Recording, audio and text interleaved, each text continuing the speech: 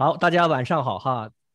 呃，这回作业完成的情况不太好，只有四个人交了四三点半个作业。呃，咱们就稍微花点时间，稍微点评一下，好不好？然后咱们大家都能看到我的屏幕，对吧？嗯，可以，没问题。好，呃，考考验大家一下哈。假如我想把这四张那个人像照片都放出来，可以用什么办法？我不想放其他照片，放到哪呀？啊？放到哪？放到荧呃呃屏幕上？哎，放到屏幕上，就只只 display 这四张照片。嗯，大家学过，还记得这个 survey view，就说我要从这四张照片里面选出最好的，对不对？嗯哼。所以你就把这四张照片呢给它 highlight 起来，在下面这个 film strip。highlight 起来，然后呢，摁一下 Survey View 的 shortcut 是什么？是 N，like Nancy。这样的话呢，它就会只 display 这四张照片哈。OK，Anyway，好，咱们来看看这四张照片哈。呃，因为这是人像照片嘛，所以呢，就是我一般都会放的很大哈，放的一比一，至少至少一比一，然后看这个一些细节哈。呃，这张先看看这个原图好不好？比较一下，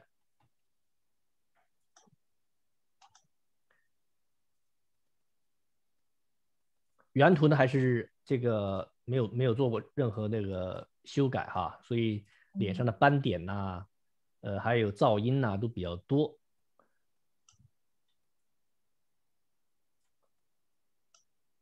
好，咱们来再来看这几张照片。第一张照片，我不知道谁拍，不知道谁修的哈，反正我都放在一起，修的还是很不错的。你看这脸，非常的光滑哈，嗯，然后呢又不失质感。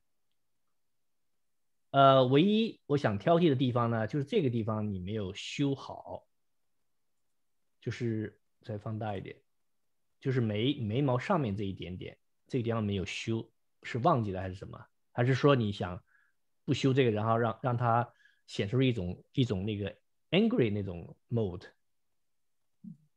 其他的修的不错哈，呃，还有一个缺点呢，我待会再讲哈。好，咱们先看第二张，第二张呢也修的不错，但是呢也是好几个地方没有修到位。呃，你看这个脸右脸这个地方没有修。然后呢，眉毛上面这个也没有修好，这两个坑看到没有？再一个跟第一张照片相比的话呢，稍微暗了点，可以把这个用用那个 basic Tony 哈，把它稍微稍微调亮一些。好，然后呢，第二张照片也有一个缺点，我待会再讲。好，第三张照片跟第一张照片类似哈，但是我不知道第三张照片它把这个 resolution 给它压压小了，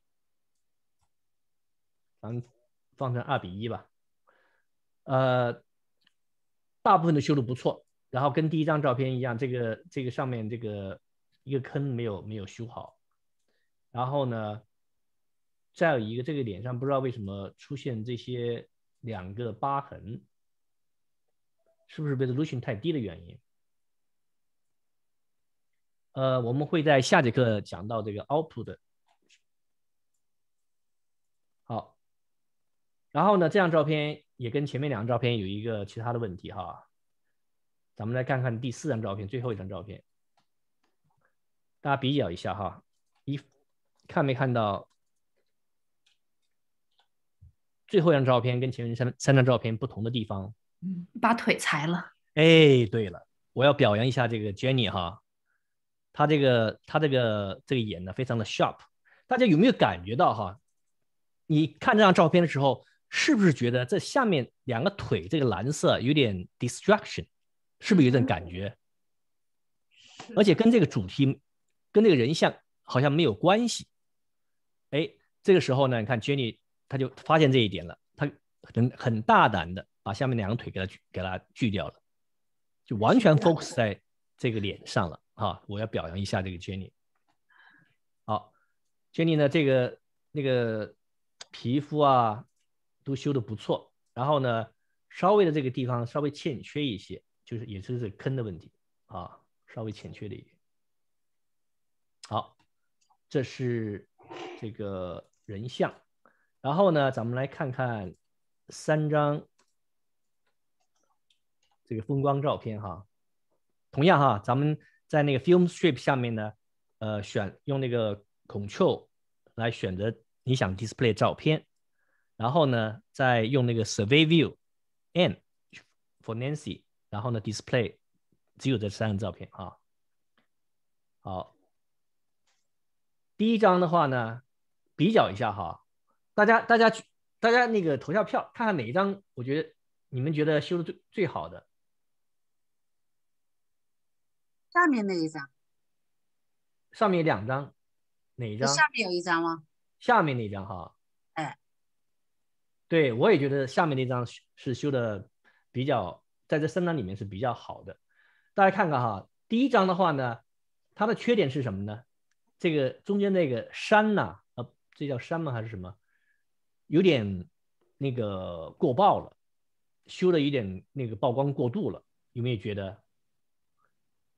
这是它的缺点。然后呢，第二张的话呢，跟这最后一张相比较的话呢，我觉得这个地方还修的不是很理想，就是这个黑边这个地方哈。你看看第三张的话呢，它就看不出这种边来。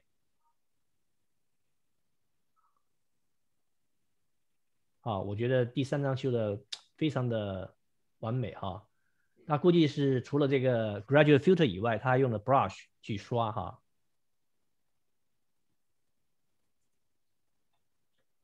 好，那点评就到这儿。呃，没有做作业的同学呢，呃，还是希望就是通过这个机会啊，练练自己上上节课学的东西哈。因为上节课我讲过了。呃，是咱们这些工具啊，是咱们用 Lightroom 用的最多的啊，就是这一些工具。好，这一节课呢，咱们是哎，请说，请讲。第三章是谁修的？第三章是什么？是谁修的？哦，我不知道，谁是谁修的？啊啊，我我看一下。对我看一下，可能就找到。好像看一下微信吧。Jen Jenny 修的吧？是 Jenny 修的。是 Jenny 修吗？嗯嗯，是我修的。哦，表扬一下 Jenny，两张的修的不错。不是，因为我修的时候，我那个有一半总是调的不好，所以我下来以后，我跟你请教啊，Jenny。呃，没没听清你说什么，再说一遍。我说我下去跟那个 Jenny 请教。哦，OK，OK，好，行，没问题。好的，呃，今天呢是第六节课哈，也是这个编辑照片的第三节课。咱们要讲什么呢？呃，大家看看我的屏幕哈，右边那 panel 所有的这个这个工具，咱们已经讲过。从上到下哈，已经讲过 histogram，然后呢讲过这六个工具，也讲到了这个 basic，然后呢还剩下一二三四五六七八八个菜单，咱们今天都要讲完，从 tone curve 一直到 camera calibration 这八个菜单，咱们都要讲完啊，好。让我把讲义打开。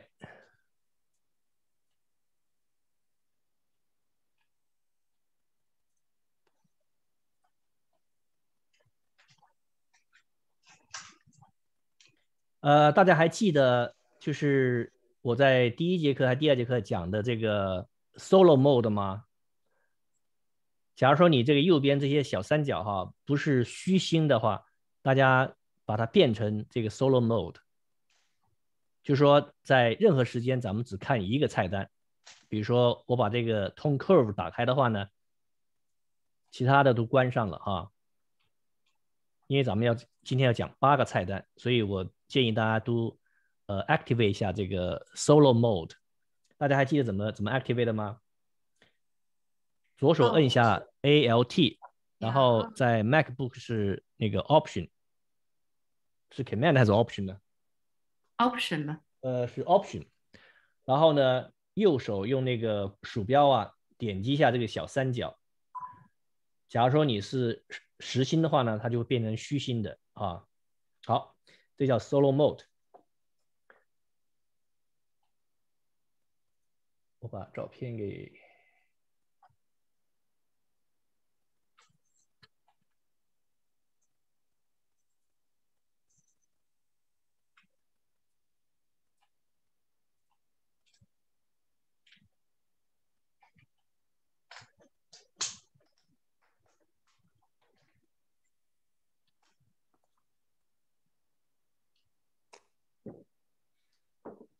在那个 Lightroom 哈，大家不要害怕，呃，呃，修怎么修会把那个照片给修坏哈，呃，因为我在这个最开始的课程里面讲到，Lightroom 呢，它是一个 non 呃 destructive 的那个 tool，你不管怎么修，它都不会呃把照片修坏哈，你永远可以 click 这个 reset，把它照片呢呃给它还原哈。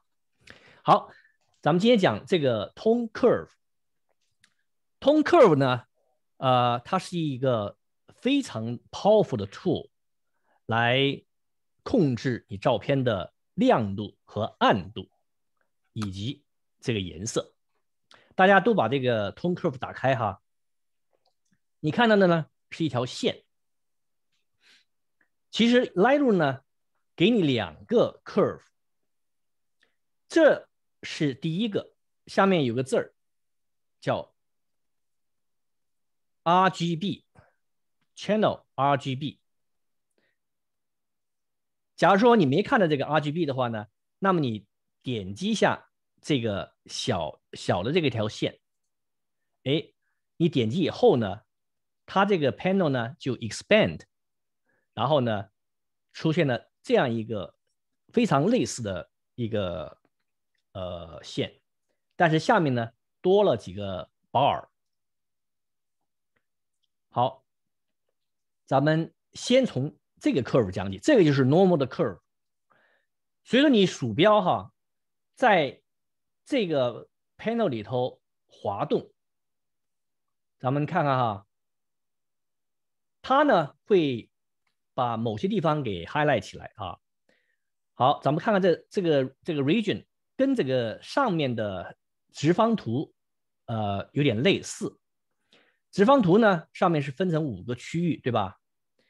这个 tone curve 呢，把这个一块地方呢分成四个区域，分别是从左到右是 shadow，这跟直方图一样啊。你鼠标器在的时候呢，下面这其中一个就会 highlight 起来。比如说现在是什么 shadow highlight 起来，也就是说从这个地方到这个地方呢是 shadow area。它这个随着这条线，这个有一个。区域呢，它给你 highlight 起来，就告诉你从这个到这一点它是 shadow。好，鼠标器继续往右，下面的是什么？是 dark。它 dark 的范围很很很广哈，从从最左到快靠近这个九十五的这地方，这是 dark。然后你再往右的话呢，是 lights。然后呢，最右面呢？是 highlights，它这个什么意思呢？咱们可以这样理解，把这个 tone curve 呢，可以看成一个 x 和 y 这个轴啊，横横向的呢就是 x 轴，竖向的呢 vertical 呢是 y 轴。这个横向的是什么意思呢？横向的意思跟那个直方图非常类似。就是从这张照片的最暗的地方左边，一直到最右边的地方。然后呢，大家看看里面是不是有座那个灰色的小山。这个呢，就是这张照片的它的从暗到亮的这个分布情况。大家把这个小山跟那个直方图的小山相比，哈，是非常类似的。好，然后 y 轴是什么意思呢？y y 轴 vertical 的轴是说你想把其中哪一个点进行修改，比如说哈，咱们在在这个地方，在最左边的 shadow 地方，然后呢，摁下左键。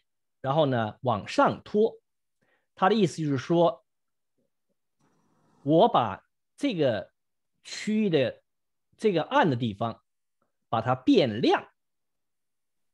大家看到没有？这条线呢，就被你被给你拱上去了。同时，大家也注意到左上角的两个数据哈，前面那个数据呢是十五，对吧？第二个数据呢是二十二。它的意思就是说。它把这个这个 pixel 的 number 从百分之十五给它变成了百分之二十二。好，然后你再看看这个照片，它暗的地方呢，它就变亮了。好，咱们再变一次哈。比如说，假如我觉得这张照片的 highlight 这个 highlight 地方太亮了，哎，你选择这个地方呢？是百分之八十一这个地方，我呢往下拖这这一次，大家就会看到前面那个八十一呢是指原来的数据，然后现在变成了七十八，它就变暗了。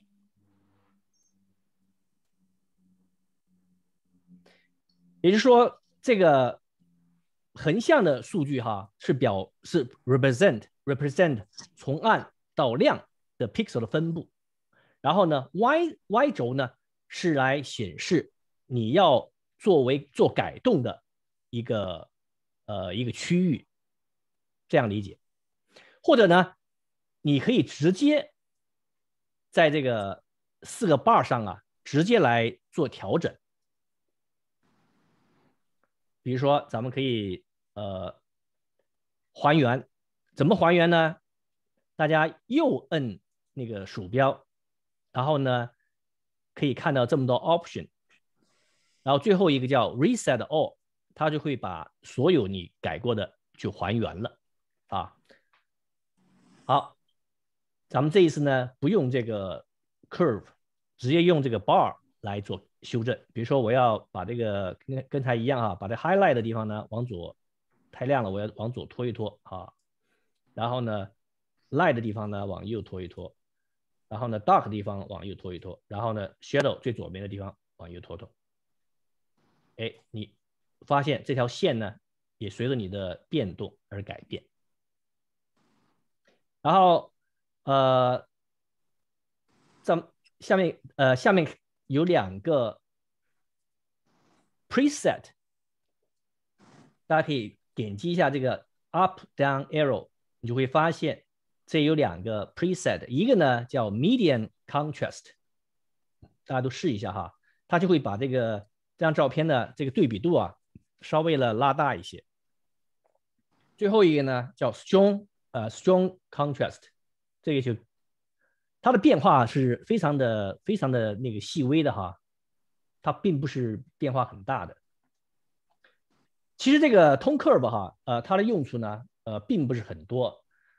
呃，用途我觉得用途最大呢是第二个 curve，大家都跟跟我一样，点击一下这个这个右下角这个小小框框哈，点击一下以后呢，大家看来大家就会发现这个 curve 的下面呢有一个叫 RGB，这个呢就叫 RGB curve。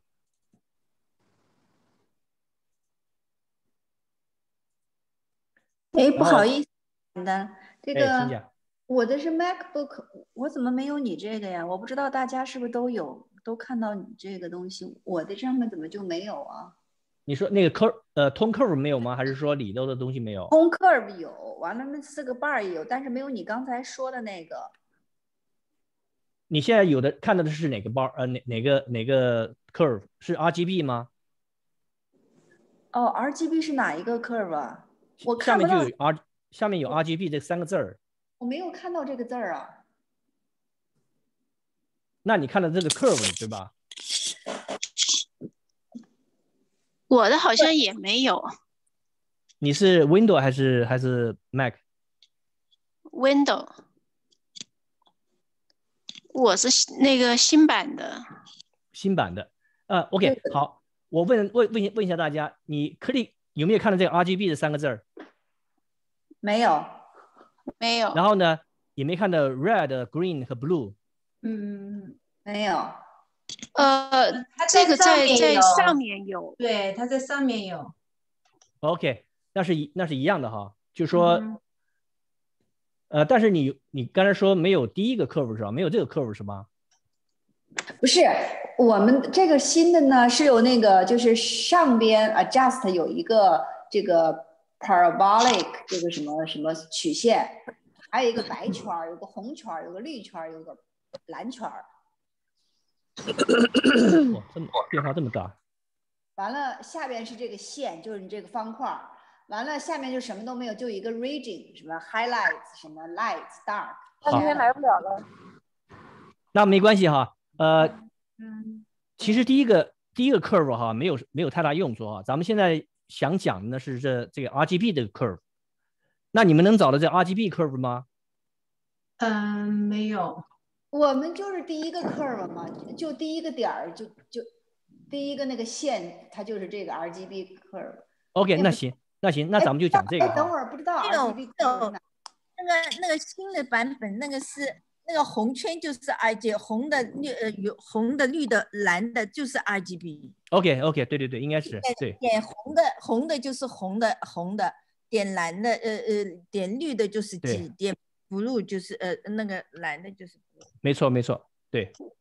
呃，其实用途最大的就是这个 RGB 的 curve 哈，那个怎么用呢？curve 我应该点哪个？我应该点白的还是点红的呀？还是要点点白的，点白的，因为 RGB 的那个 combination 就是白，就是那个白的 OK，好。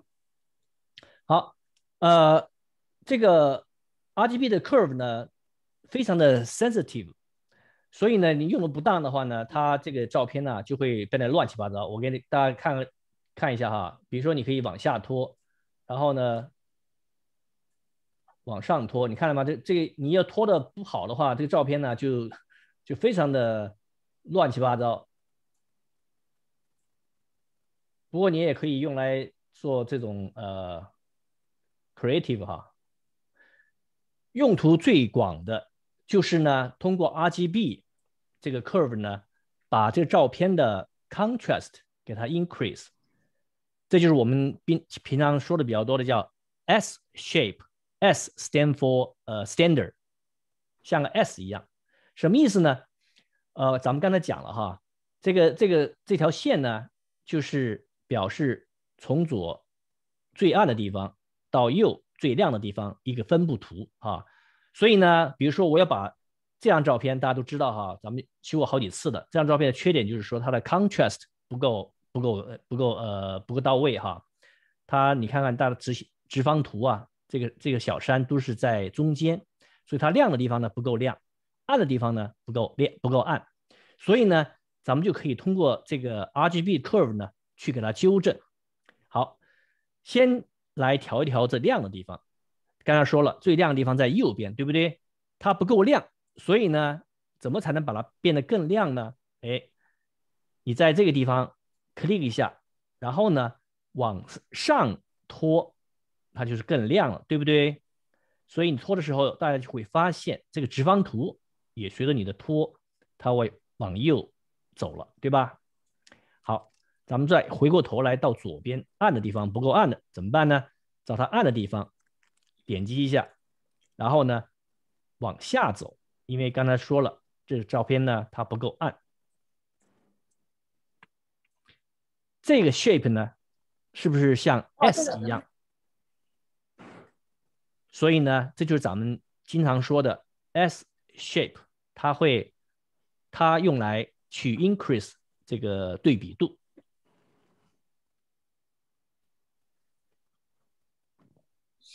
大家调的时候一定要啊一定要 小心点，不要不要调的太过度了哈。哎，你讲，我我有个问题想问一下，那它这个你说它增加它的对比度，那和我们在最开始学的那个呃 basic basic 里面那个 contrast 调出来是异曲同工，对，是不是一样的最后异曲异曲同工。？OK OK，好，谢谢。好像那个更简单一点，用起来。对，那个更简单一点。这个呢，可能就说更更更炫技一些吧。就是你要是 你要是跟别人说你懂这个怎么用这个 curve 呃 tone curve，那就不得了。讲那个后期处理，照完你看这一张平平的、淡淡的，然后它会调出一张就是特别有那个紧身的就就是那个 Lightroom，就是就是那个就是那个啊，谁在谁在那个什么？好，呃，这是用这个 RGB curve 的第一个用途哈，create 一个 S S shape。好，第二用途呢，用它来变换颜色啊。大家那个点击一下这个这个上上下的三角，选择比如说红色，呃，我估计新版的话，你点个红点就可以了哈。那么现在呢，它显示出来的这个红山哈，就表示这张图的这个红色的 pixel。哎，可能就有人就问哈，哎，怎么这个这张照片没有红色的那个颜色啊？怎么会有红色呢？你这样理解哈，任何的这个 pixel，任何的颜色都是由这个三原色组成的，对不对？好，什么意思呢？大家看看我的鼠标这个直方图哈，直方图下面呢，随着我鼠标的移动，它有三个数据在那展示出来。比如说我现在点到这儿，大家看不看这个直方图下面的三个数据？这个 R 就是 red 是红色五十二点九，然后 G 是 green 五十五点二，然后 B 是 blue 七十点七，也就是说。这个箭头这个地方，这个鼠标点这个地方哈，它看上去是一个蓝色，对不对？但是呢，它实际上是由红色、绿色和蓝色共同组成的，形成的这个颜色。因为它三种颜色的这个比重不一样，比如说它的蓝色比较重，七十点三，所以为什么大家看上去呢是这个蓝色啊？就是说每个点呢都是有红色，都是有绿色。和蓝色，只不过它们的这个比重不一样而已。好，咱们回到这个地方来哈，呃，make sure 你这是 red 哈。比如说我要把这天空啊，给它变成蓝色，呃，不变成红色，怎么办呢？其实很简单，你可以呢，天空肯定是 highlight 的地方，对吧？所以在这个这上面这个点，然后呢，你把这个线呢往上拖，哎。大家看看，magic happen，这张照片的 highlight 地方呢，都变成了这种红色，或者是紫红色哈。所以呢，你可以用这种办法呢，呃，把这种风光照片里的日落、呃日出和日落啊，给它调成这个颜色。好，在这地方呢，我要给它科普一下哈。大家看看我的这个 slide。这个呢，最好大家要记住一下，这是三原色它们的关系。从最右边呢是红色，然后呢底下是绿色，然后呢左上角呢是蓝色。大家呢要记住的是什么呢？希望大家记住的就是它的互补颜色。互补颜色是什么意思呢？看看这红色，对面是什么颜色？是 cyan。也就是咱们中文里面的青色，也就是红色对应的是青色，因为青色是绿颜色和和蓝颜色组成的。好，看看蓝色，它的互补颜色是什么颜色呢？是黄色，因为黄色是红和绿组成的。好，最后一个绿色对应的是 magenta，magenta 也就是紫色哈，洋红。所以呢。大家最好稍微记住一下，就是说红色它的这个互补颜色是什么？蓝色的互补颜色是什么？还有绿色的互补颜色是什么？好，咱们大家都一起背一下。红色是什么？互补颜色青色。青色。蓝色的互补颜色是什么？黄色黄色。绿颜色的互补颜色是什么？magenta。magenta 是洋红、紫紫色。哈，好，有了这个知识以后呢，咱们来看看这个这个 RGB curve，现在是红色，对不对？好，我我现在是往上拖是红色，对不对？假如说我往下拖的话，就是它的互补颜色了，就是说呢，它减少红色的同时，它是把它互补颜色给增强了，make sense？嗯，所以呢，红色的互补颜色是什么？青色三艳，青色，对吧？好，大家看看，我要是把这线往下拖的话呢，它的三艳就出来了，看到没有？青色了。嗯所以呢，你指定其中一种颜色，你可以把这个颜色加深，或者是把它的互补颜色加深。啊，好，咱们来再试一试哈，啊、试一试那个绿颜色吧。咱们先把这个 reset 一下哈。好，这是 green channel 绿颜色。咱们呢，比如说随便找一个点往上拖，哎，它这个绿颜色就加深了。往下拖的话，它是什么颜色会加深 magenta，？magenta，看到没有？变紫了。哦，非常漂亮。好啊，大家也可以这个用用这个绿绿颜色往下拉，给它拉出紫色来。好，好，怎么还原哈？两种办法。第一个呢，就是右右键，然后呢选择这个 flat curve，或者呢是 double 点击一下这个点，也它也会还原啊。好，咱们再选择这个蓝色，往上拖，这个蓝色就会，咱们要把天空啊变蓝，对吧？是不是变蓝了？湖水变蓝了。往下拖的话，蓝色的互补颜色是什么 yellow，？yellow yellow 出来了，神奇吧？好，这就是这个 RGB curve 的最大用处。除了呃把那个对比度给调大之外呢，可以通过这颜色的 channel 呢来调不同的颜色。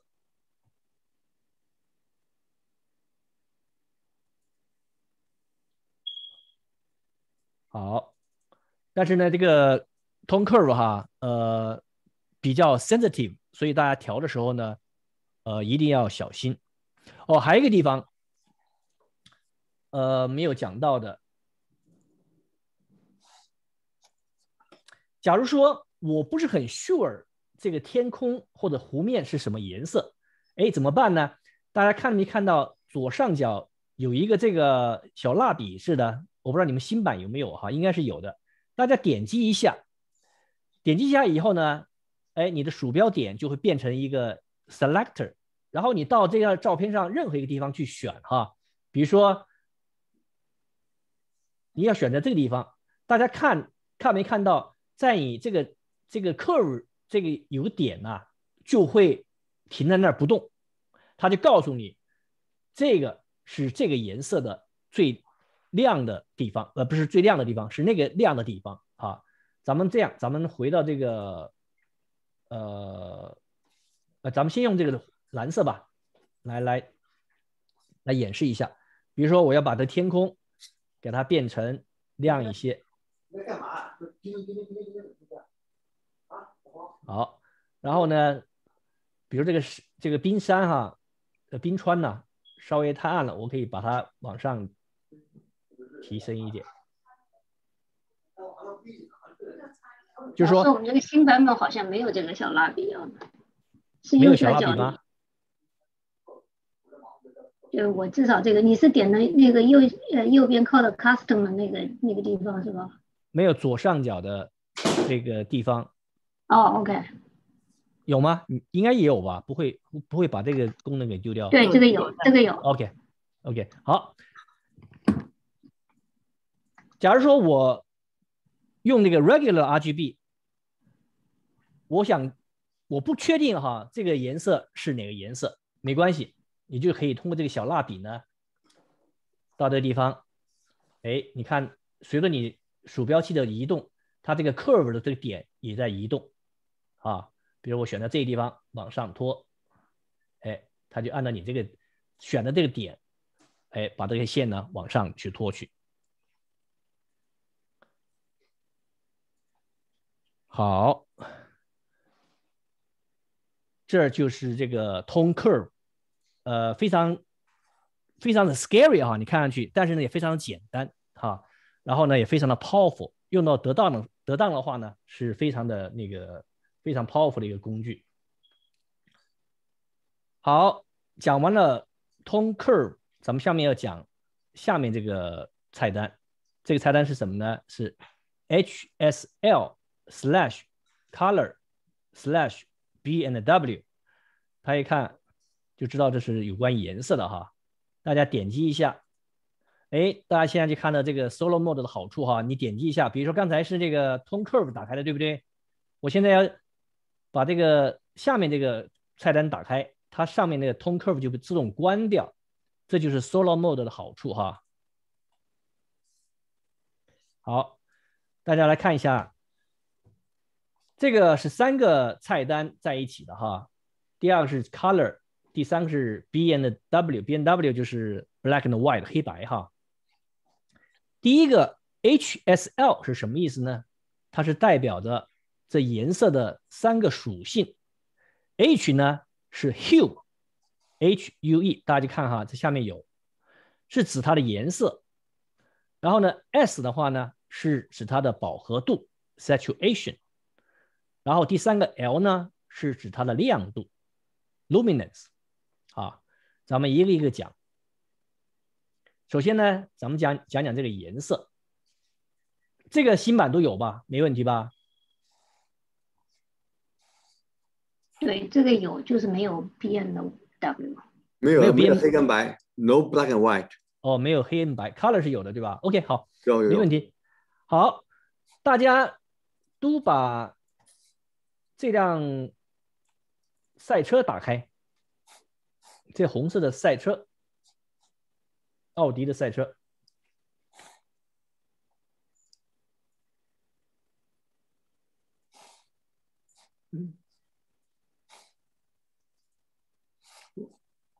好，大家看看哈，这个 hue 呢是指这八种颜色。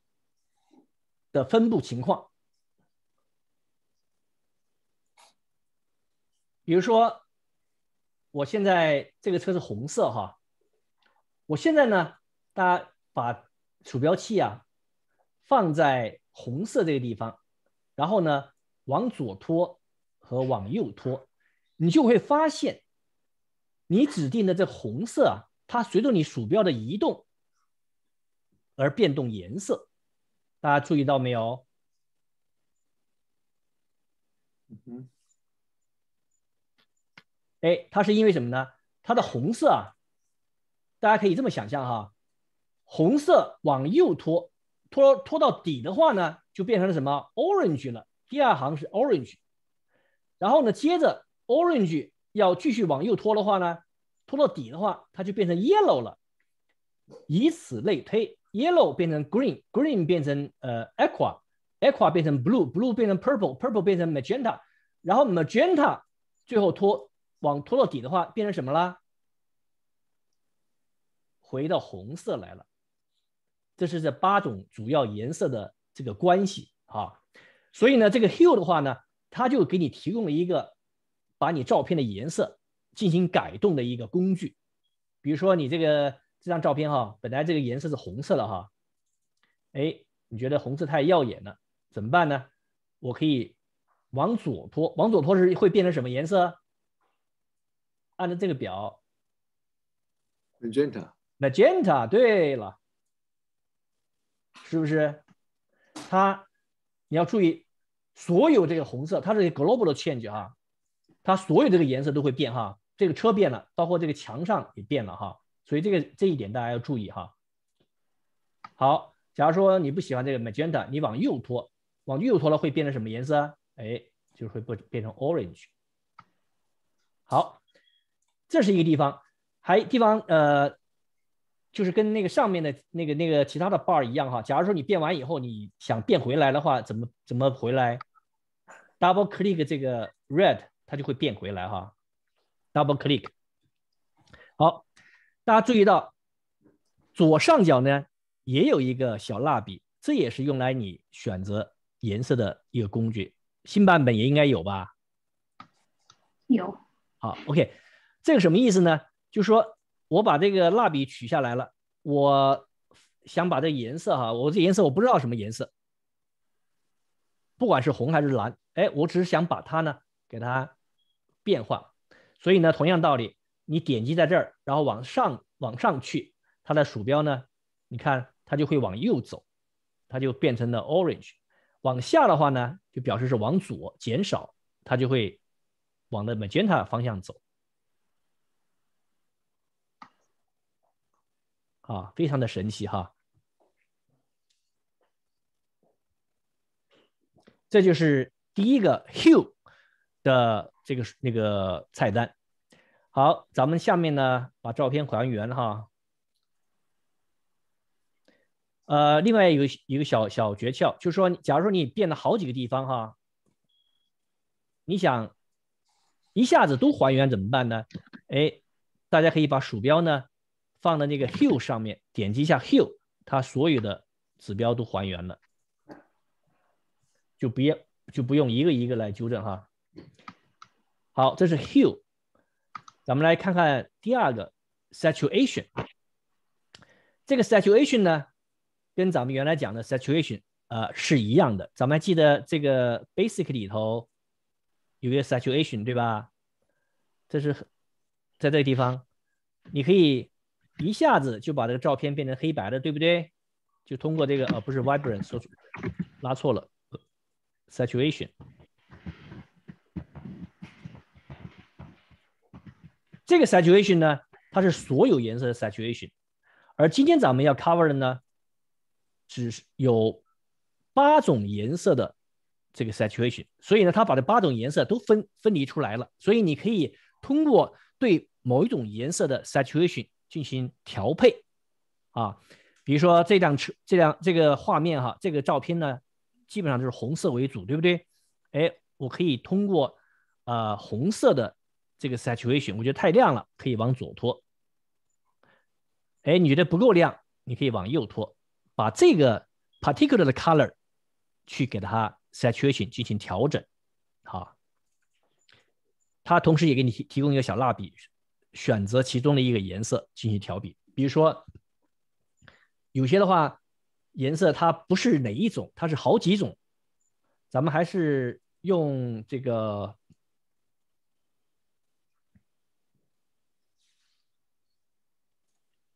阿拉斯阿拉斯加这张照片来做个例子哈。呃，比比如说你想把它的湖水呃蓝天吧，给它拉蓝。哎，拉蓝的话呢，呃，当然呢，你知道这个蓝天是蓝色的，对吧？所以呢，你可以直接到这个 blue 这个地方呢，把它 saturation 给它往右拖。哎，大家没看到这个天空马上就变蓝了，对吧？哎，假如说你不知道这个颜色是是蓝色，你可以通过这个，我先把这个变回来哈，把这个小蜡笔取出来，然后呢，把它光标呢移到天上天空上去。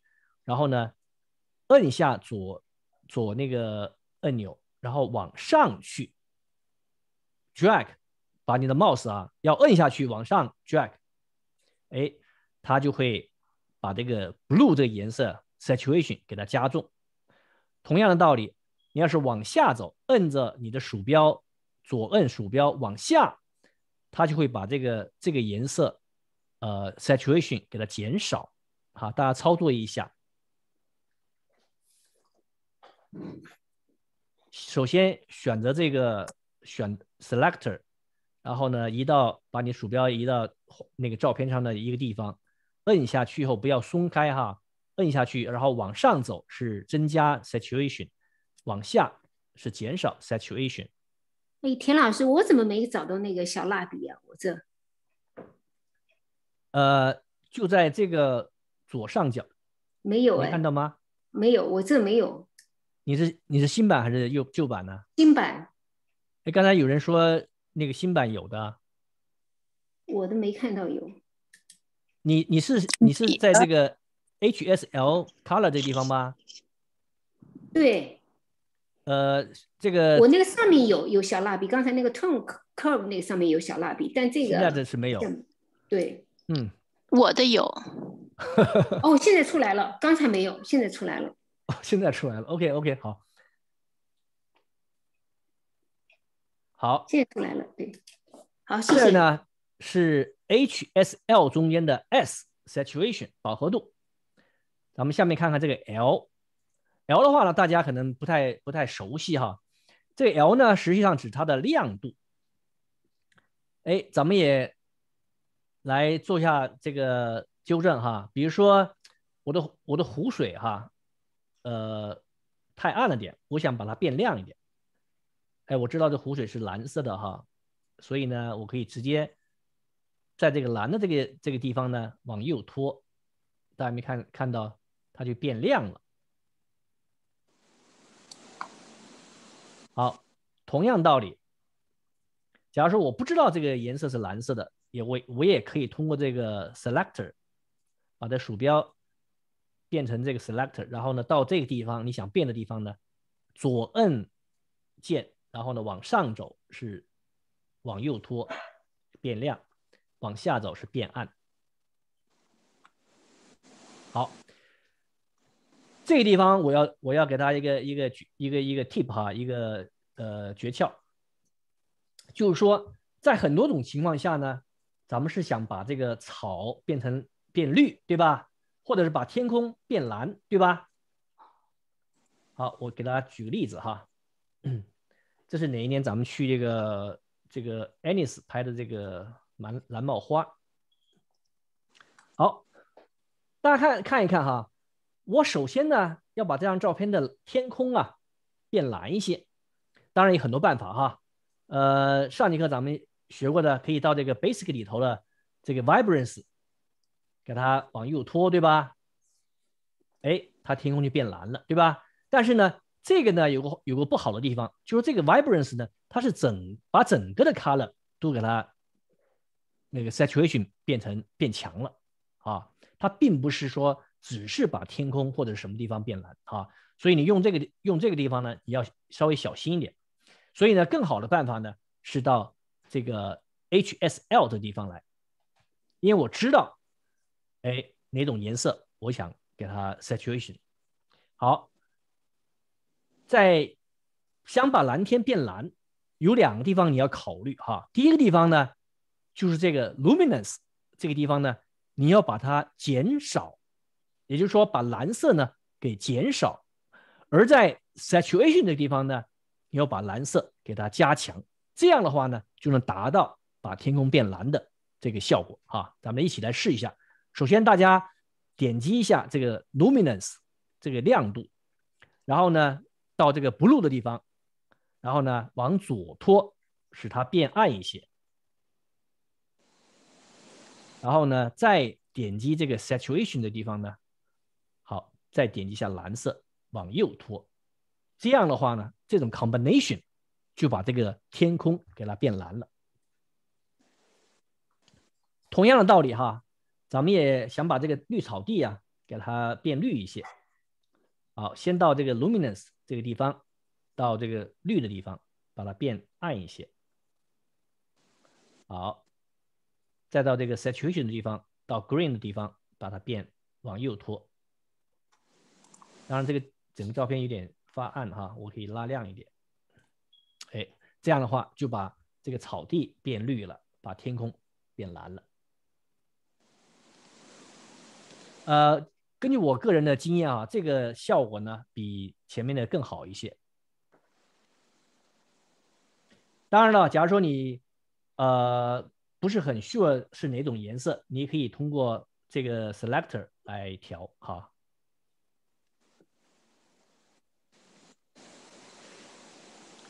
好，这是 HSL，咱们来看看这个 color。这个 color 呢，实际上跟刚才咱们讲这个这个 HSL 里头的 hue 是非常类似的哈。咱们还是以这个车这个照片作为例子。好，你点击这个 color 的话，大家是不是都看到这个八个颜色？新版本也是应该一样吧？对，有。啊，OK，好，它的原理是一样的哈。比如说咱们首先选的这个红色哈，大家看没看到 hue、saturation、luminous 三个地方都出现了，对吧？跟刚才讲那个 S 呃 HSL 是是非常一样的。好。在这个 hue 的地方，我要是往右拖，哎，大家你猜都猜出来了，它是应该是变成什么颜色了？变成 orange，对吧？哎，紧接着你要是点击这个 orange 的话呢，你再往右就变成什么了？变成 yellow，然后点击 yellow，你再往右就变成绿色啊，就是跟刚才一模一样的。所以这个地方这个 color 哈，呃，我用的不是很多，它的这个这个道理呢，跟这个前面这个是一是类似的哈，所以我这个地方我觉得它有点有点重复了。这是 color，呃，color 这地方呢，它就是没有这个 selector 哈，所以你必须自己去去选择这个这个颜色。好，最后讲一下这个 B N W。呃，旧版的话，呃，是有的，对吧？新版没有。新版确实没有吗？没有看到。哎，这我觉得很奇怪哈。可能放在其他地方，说不定。也有可能。它其实这个这个地方啊，它有个好处哈。虽然这个 basic menu 里头有一个 black and white。这个呢，它是呃，basic 里头的哈，它只是给你一个 one shot，把它照片变成这个黑白的，而这个旧版里头这个 black and white 呢，它是让这个让我们呢有更多的孔雀来选择对这八种 color 的哪一种进行调节的时候呢，把这颜色。变成黑白啊！我来演示一下哈，大家看我的那个 screen 就可以了。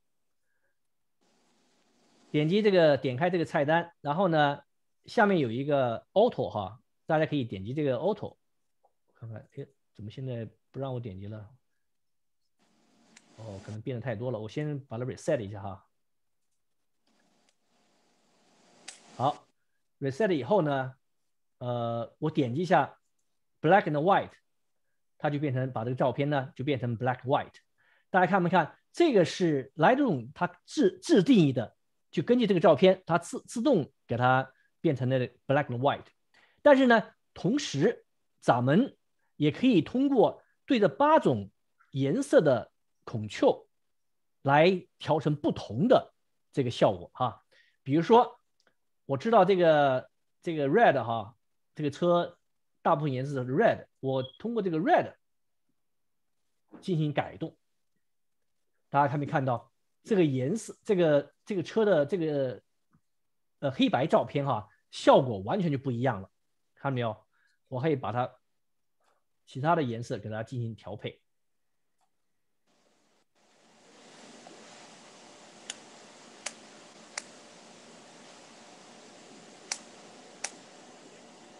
然后就变成这种效果。当然呢，你可以，假如你不满意的话呢，你可以摁一下这个 Auto，再 click 一下，哎，它就回到第一个呃第一种那个效果去了。这个是那个 Lightroom 自定义的这个黑白照片。所以呢，咱们又多了呃一种把照片变成黑白照片的一个方法哈。咱们那个下节课还要学另外一种方法，怎么把照片变成黑白的。好，这个呢就是咱们今天要讲的第二个 topic，HSL color。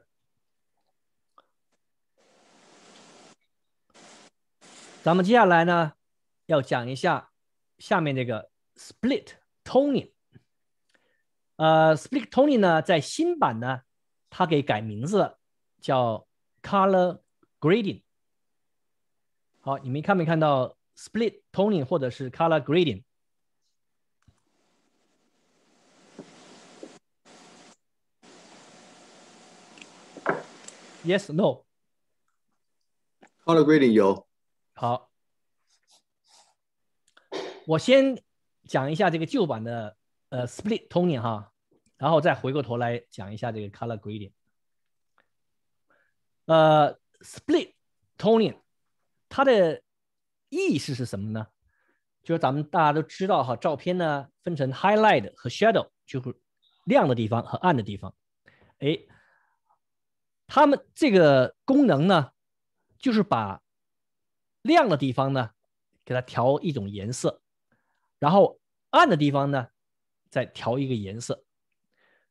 根据这个很多这个摄影师的经验哈，这亮的地方和暗的地方的颜色，假如是互补颜色，这个照片的效果呢是最佳的。大家还记得刚咱们刚刚刚刚学过的这个互补颜色哈，对吧？就是说你亮的地方呢调，比如说咱们红色吧。那么在暗的地方呢，咱们要调红色的互补颜色。青红是什么？青色。青色，对吧？咱们再举个例子，比如说咱们把高光地方 highlight 地方调成黄色，哎。在它暗的地方呢，调成黄色的互补颜色是什么？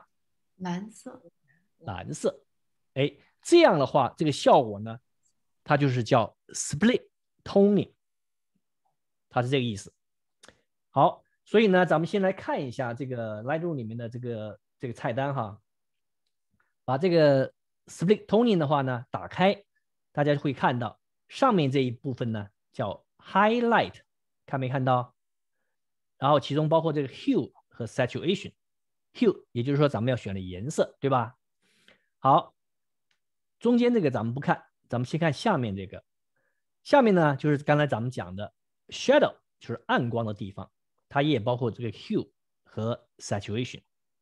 好，你选择了上面这个高光的部分，选择的这个呃 shadow 阴影部分，然后呢，它又让你通过中间这个 balance 来。控制你是往左多选一多选一些 highlight 呢，还是往右多选一些 shadow 来 control 来 balance？这个呢就是旧版本里面的呃 split toning。咱们来看一看这个新版本的 color grading。我把这个我的 slide show 给大家。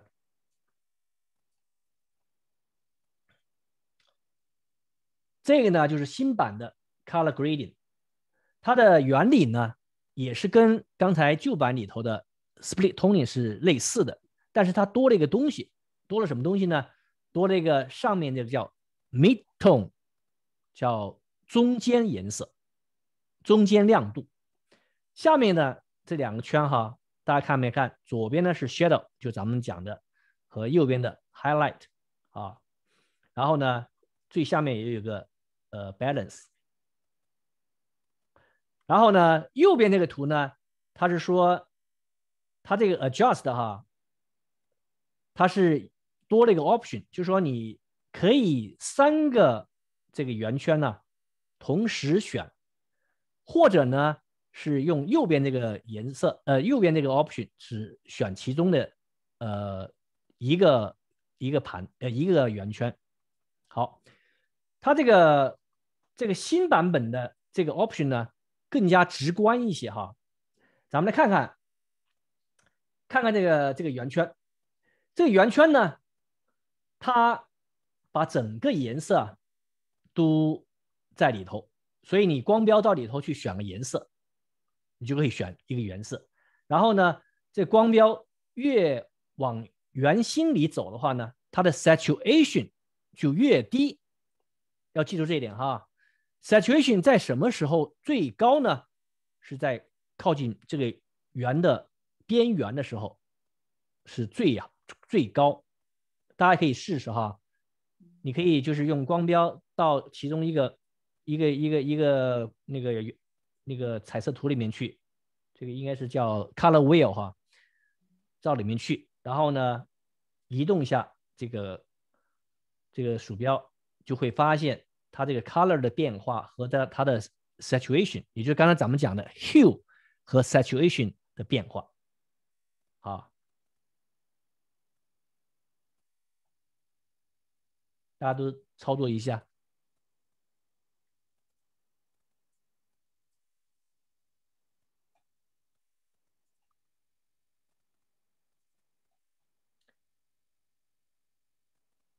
好，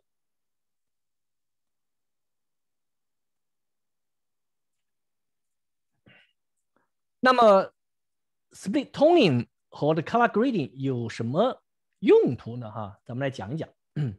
实际上，那个用的最多的是什么呢？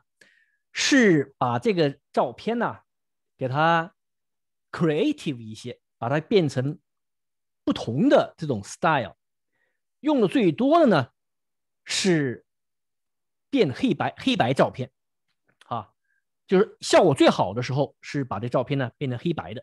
好，咱们呢以这张照片作为例子哈，呃，在变动照片之前呢，我想让大家记住这两两个值。刚才咱们讲了，看我的看我的那个 slide 哈，咱们刚才咱们讲了哈，这个互补颜色，在这个人像照片里用的最多的呢。是这两组，咱们讲了，yellow 跟什么互补？跟 blue，red 红色跟什么互补？给 cyan 青色。它的值是从什么地方来呢？这个呢，这个图啊叫什么呢？它有个术语的，叫 hue angle，就是 hue 就是刚才咱们讲讲的颜色哈。然后呢，hue angle。它就会产生这样一个值，某一种特定的这个颜色呢，都有一个相对应的 hue angle value。咱们来看看，黄色从那个红色开始哈，红色它的 hue angle 的 value 是什么？是 zero。好，咱们再看看另外两个那个 prime color，green。是什么？一百零五，一百二十。一百二十。然后呢，蓝色是什么？二百四。所以呢，大家看看啊，这圆圆的这个度数三百六，对吧？所以这个也好记。红色是是零，那么绿色呢是一百二，然后蓝色二百四，这好记吧？对吧？好，咱们来看看它的互补颜色。好，红色它的互补颜色是什么？青色，cyan，它是多少？一百八，对应的一条线，对不对？一百八。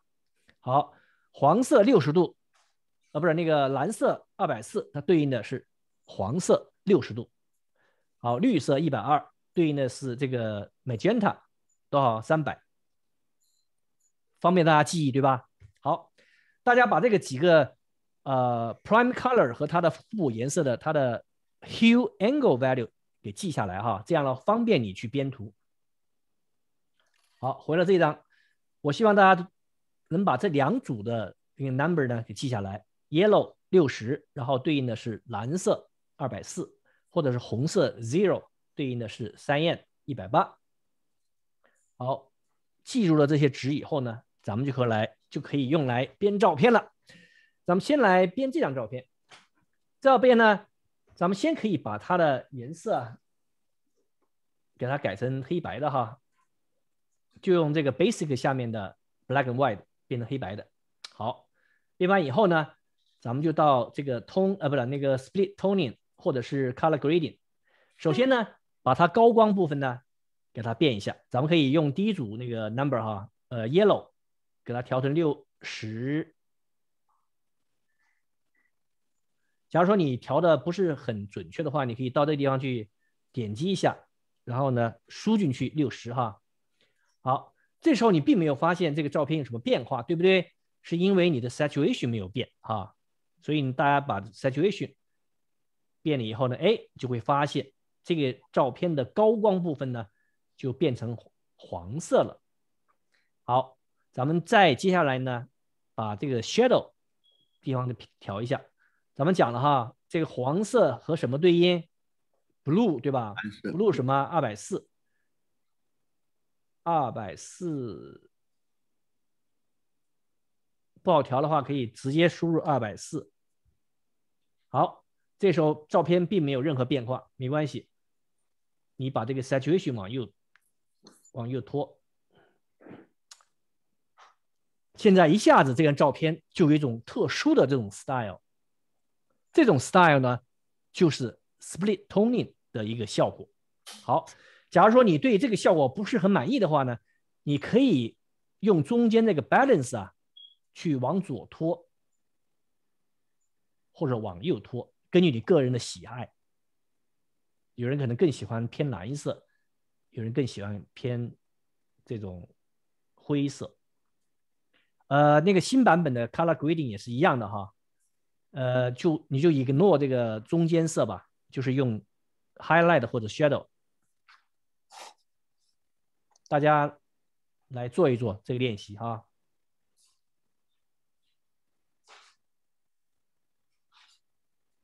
这样吧，咱们大家一起来做这张照片的练习。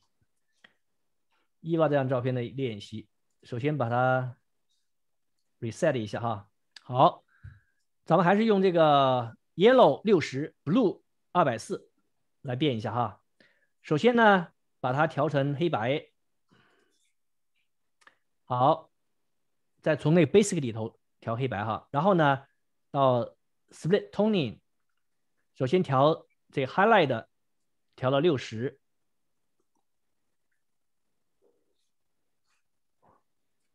呃，不好调，你就直接打六十哈。然后呢，把这个 saturation 调到三十左右吧。然后 shadow shadow 二百四，好，saturation 呢也调到三十左右。好，你可以把这 balance 呢往左，或者是往右，不同的 style 啊，这样这一张这个 split toning 的这个效果就出来了，大家自己做一下啊。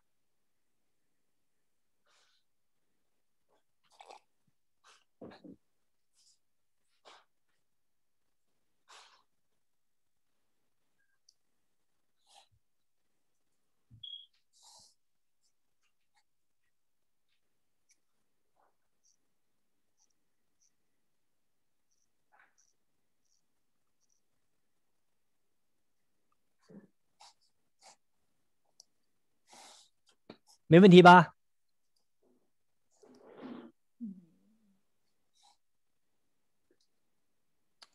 好，这就是这个 split toning。咱们接着往下走哈。下面这个是 detail，detail 呢，呃，用了很多。像我的话，基本上每次都用。这 detail detail 主要是用来做什么呢？用来降噪。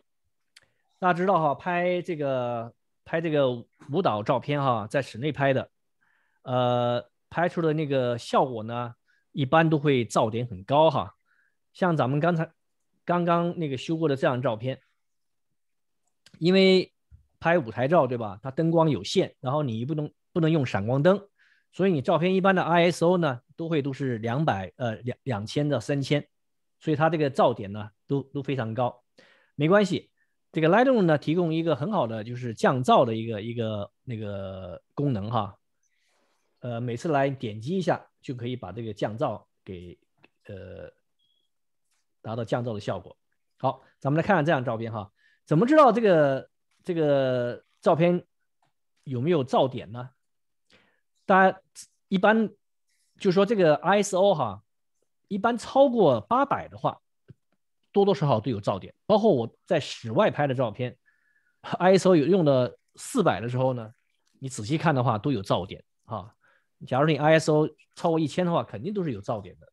好，一般呢建议都是把这个照片呢放到一比一，特别是在它的暗的地方，大家看没看到？这暗的地方麻麻点点的，这都是噪点。我稍微讲一下哈，为什么这个数码相机都有噪点呢？刚才讲咱们讲过，这个 ISO 很高，肯定会有噪点，对吧？然后还有一个就是 sensor 的 size，假如说你用那个手机照的，照的这个灯光那个光线不是很好的，肯定是有很多噪点的。还有一个就是在曝光的时候，你过长的话呢，它也会呃引进一些噪点。所以呢，一般你在室内拍的照片哈，是一定要走这一步的，一定要把这个噪点给降掉。好，好，大家都点击一下这个 detail，然后呢，大家会看到一个呃一个叫什么叫示意图。这个示意图呢，是你可以用来选择的哈。比如说呃，大家看没看到这个示意图左上角有一个小方块儿？大家应该都有这个小小方块吧？有啊，OK，大家点击一下这个小方块呢，是让你来选择照片的哪一个局部来观察这个噪点情况。我建议一般都是选择暗的地方啊，大家可以呢。哎，陈丹老师，不好意思，我怎么没有看到这个？没有看到什么？有了，有了，有了，Sorry，有了，我我要哦，OK。小箭头给弄开，OK。大家点击一下这个小方小小方块啊，然后呢，你鼠标到这个示意图里面去拉，就是拉一下，拉一下，直到拉到就是比较暗的地方就可以了。哦，这样吧，看他脸吧，看他脑脑门吧，啊，比较暗的地方，哎，大家可以清楚的看到是有很多这个噪点的，对吧？好，大家把这个这个这个 panel 呢往下拖一拖哈，它有两个 section 哈。第一个 section 呢叫 sharpening，就是给它变锐。这个其实呢，我觉得 Lightroom 我至少是我的旧版本的这个的 sharpening 哈，效果不是很明显的哈。呃，新版本的我不知道，应该是有所提高的。所以大家可以试试。假如说，呃，你这个照片觉得不够 sharp 哈，可以把这个这些数这些 bar 啊都往右拖一下，不要拖的太多。大家仔细观察一下哈，主要看他眼睛。假如说你往把这个这个 amount 呀往右拖的话呢，你就会发现确实变 sharp 了，但是呢，这个他的皮肤啊。也变得粗糙了一些，这个没关系哈，只要都这个 radius detail 都往都就都往右拉一点，然后呢，再到下面这个 section，这就是它的重点，noise reduction，看没看到？noise reduction 呢有两部分，一个呢是 luminance，就是那个呃亮度，还有一个呢是 color。这两个地方你都要调，但是最明显的呢是这个 luminance。好，大家大家可以把鼠标点击这个 luminance，然后呢把这个点往右拖。你拖的时候注意观察那个那个示意图哈，你就会发现那个这个示意图上的那个人人的脸呐变得越来越光滑。大家注意到没有？这就是降噪的效果。大家可以把这个这张照片变亮一点哈，你可能看得更清楚一些。在这个直接把这个直方图啊往右拖。好，咱们重新来一次哈，这是变噪之前啊，现在一下就更明显了，脸脸上的麻点非常多哈。随着你的鼠标往右拖，哎，你就会发现这张脸呢，这个皮肤一下就就圆圆润起来了哈。呃，同时。把在 color 这个地方呢，这个降噪呢，也往右拖一拖，哎，一键就可以把这个降噪，呃，效果达到。有个地方呢要提示大家，就是这个 luminance 哈，这个降噪啊，这个值啊，不要超过五十。大家可以自己试一试，你继续往右拖的话，拖了一百的话呢，你这张照片就非常的，呃，大家就说非常非常的 soft 了，不够锐了哈。所以呢，一般我一般拖的话都不会超过五十。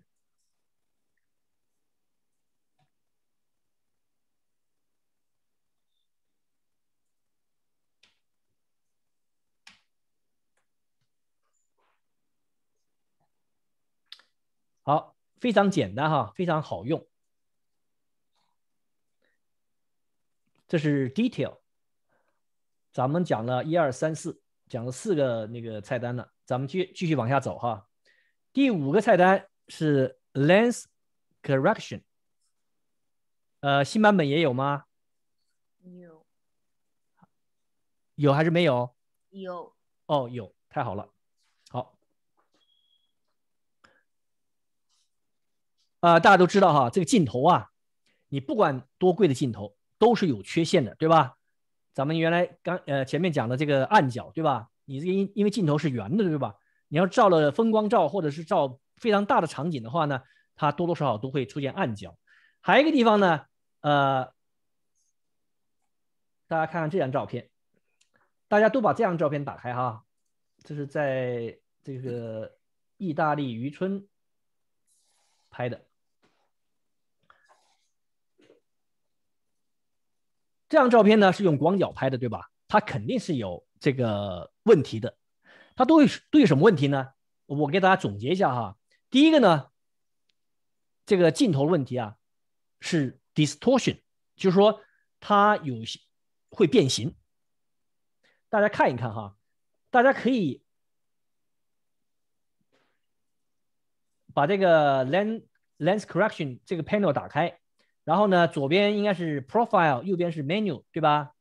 我不知道你们的跟我的是一样吗？是一样的。一样的。OK，好，大家现在把这张照片打开，然后呢，点击一下第二个这个 check mark 叫 Enable Profile Correction。点击以后呢，你你同时观察这张照片发生什么变化了啊？大家可以先看我看我的屏幕，看看发生什么变化了哈。点击一下，大家看没看到这个照片发生变化啦？好，大家自己可以试一试，把这张照片打开，在自己的 Lightroom 里面去点击一下这个 Enable Profile Correction。嗯，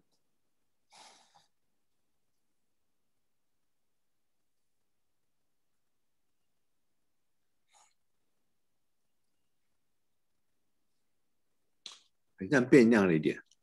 不一样一点哈，这就是 Lightroom 啊，它非常的 powerful，它怎么呢？它把所有的，呃，不能不能说所所有的，把绝大部分的镜头啊，它都给它编成一个 profile，它知道某一种镜头它的优点，它的缺点，然后呢进行给它修正。大家观察一下哈，在你把这个 lens correction 打开以后啊，你会发现它这个下面哈记录了。这张照片是用什么镜头拍的？注意到没有？它的 make 是佳能的，model 是十六到三五的，然后呢，它的 profile 是什么 profile？他知道你这张照片是用这个广角镜头，佳能的广角镜头拍的，知道这个广角镜头有什么缺点，然后呢，进行相对应的修正，不得了吧？好，这是第一种缺陷，叫 distortion。然后呢，另外还有一种缺陷呢，就是咱们那个我上讲另外一节课叫色差。色差用另外一句话呢，就是紫边，什么意思呢？我给大家看看这两张照片哈。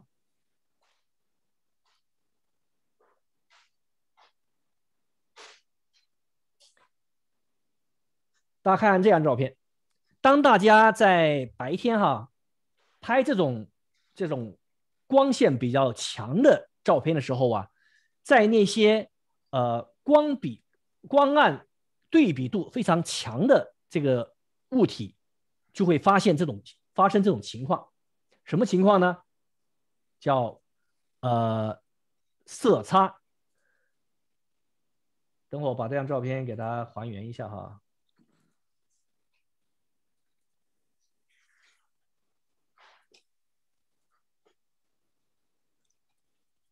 它这个树干和这个天空接壤的地方啊，因为那个地方是对比度最强的，所以呢，你的镜头不好的话呢，往往会出现这种紫边，看到吗？这张照片就非紫边非常的厉害，看到没有？为什么有些这个镜头，比如说佳能的红光镜头啊，没有就是它那么贵？哎，它贵就贵在这地方，它有做对这个紫边呢做了处理，所以呢，我想找这张照片啊，找了很久的，因为我照片上基本上找不到这种紫边。好，碰到这种情况的话呢，怎么办呢？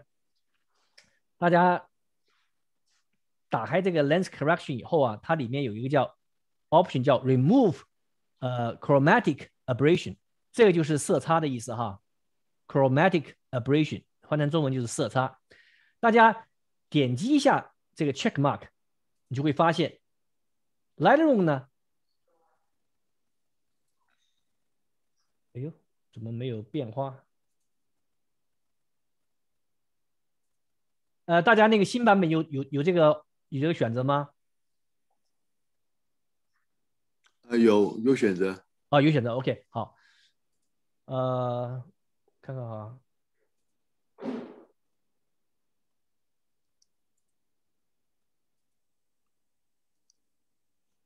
怎么它掉链子了？咱们再试一试哈，Reset。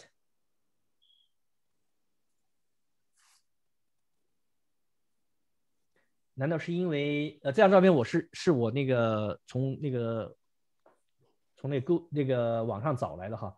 好，咱们不看那种，那咱们看这这张照片吧。看这张照片，这张照片呢看来不是很明显，但是呢你要把它放大的话哈，这这是我拍的哈。呃，看这个墙和这个天空呢，这个交叉的地方，还有右边这个墙。我再放大一点，是不是看到这个绿颜色？看到吗？这个很明显，看到吗？这也是一种一种紫边，它不叫紫边了，就是绿边了。这也就是色差。好，这种情况怎么办呢？你可以用这个这个 lens correction 里头的 remove 呃 chromatic aberration 给去掉哈。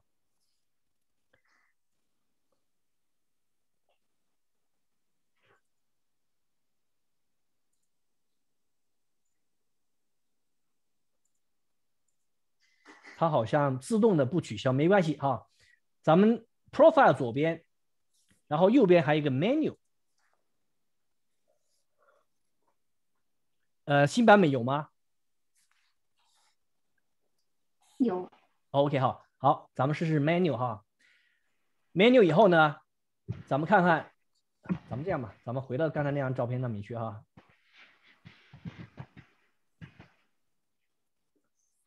刚才咱们试了，我再试一试，是是是因为我的 Lightroom 出问题了吗？用这个自然自自动选择，它没有不起作用，没关系。我到这个 Menu，好，到这 Menu 以后呢，大家看到看没看到这个 Defringe？Defringe 就是呃纠正这个色差，这个有个 Amount，把这个 Amount 呢往右拖，哎，大家看看那个照片上的紫色哈。都被消掉了，看到没有？嗯，好，这个呢是消紫紫边，再回到第二张照片，这张照片出现的是绿边。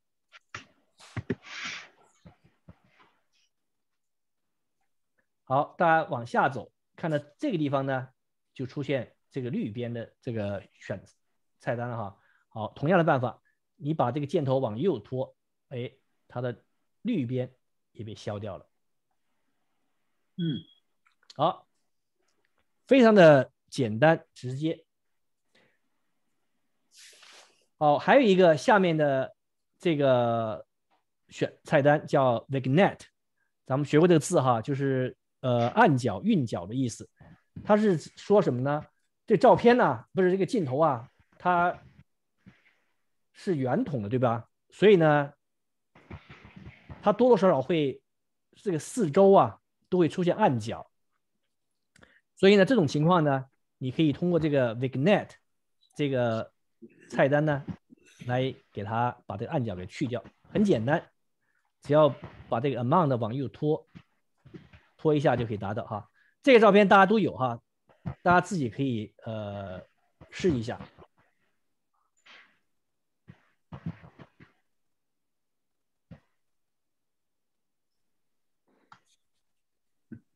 找到这个这张照片，应该是这张照片哈。然后呢，咱们只把这个暗角给纠正一下，很简单，就往右拖一下就可以了哈。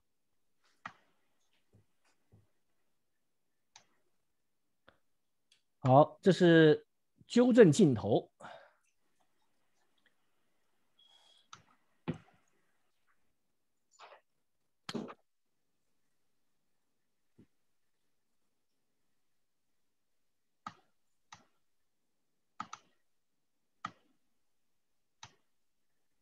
呃，咱们接着往下走哈。再下一个呢是呃 transform。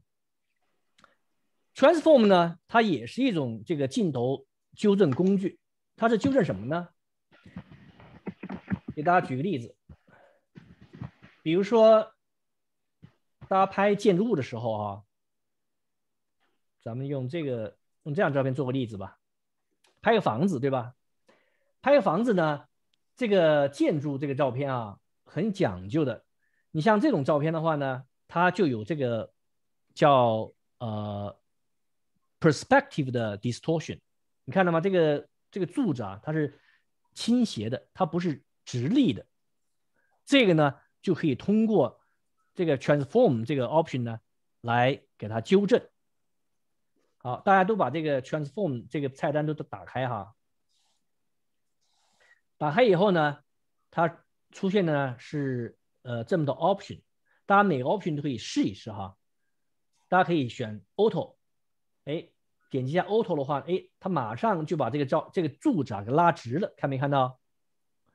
好，再点击一下 off，回原呃还原哈，再可以点击一下 level，这个 level 呢跟后面那个 vertical 是一个是纠正平衡呃。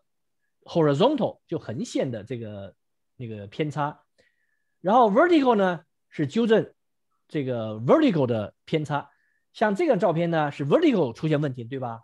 所以大家可以点击一下 vertical，它的效果呢是跟刚才那个 auto 是一样的效果啊。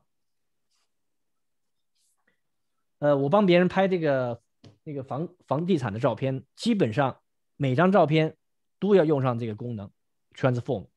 因为你拍的时候啊，它的墙啊不是直的，或者门呢不是直的，哎，你一定要通过这个这个菜单菜单呢，把它门的墙啊给变直了啊。嗯，很棒啊。好，大家都点击一下这个张这个照片。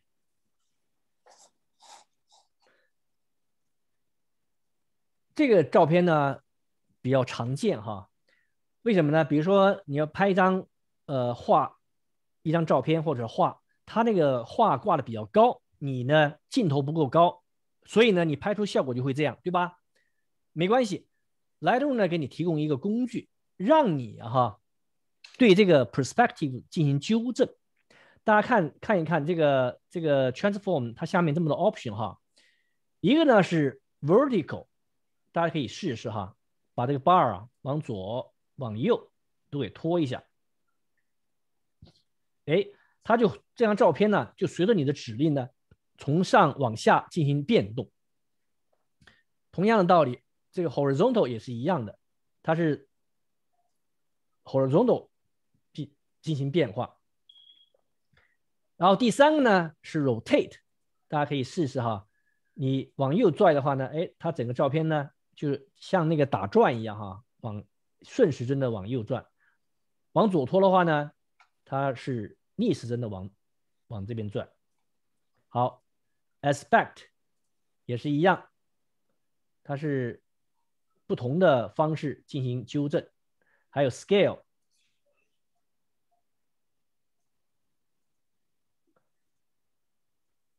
咱们现现在这样大家做个练习通过就通过这前面三个吧，vertical 和 horizontal 和 rotate 这三个 bar 呢，对这张照片啊进行修正。最理想的结果是什么呢？是这个这个镜框啊、画框啊，好像你是平面直视它的一样。哈，咱们来试试。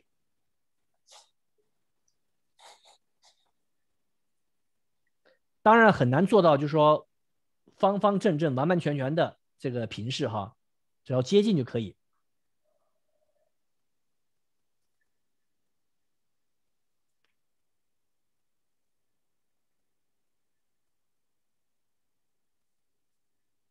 首先呢，大家通过 vertical 呢，把这个上面和下面这个这个长度变成一致哈。现在现在完全是上面大，下面小，对不对？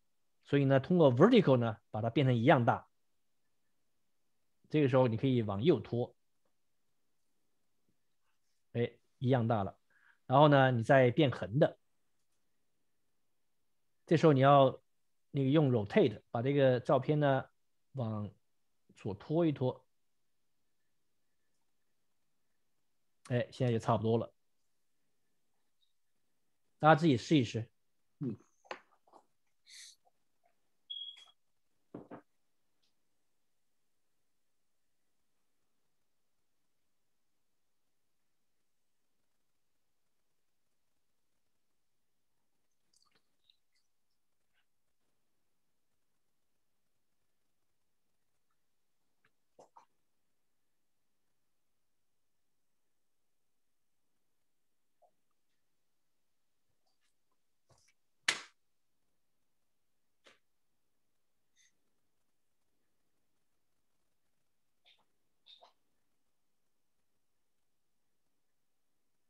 好，很有意思吧？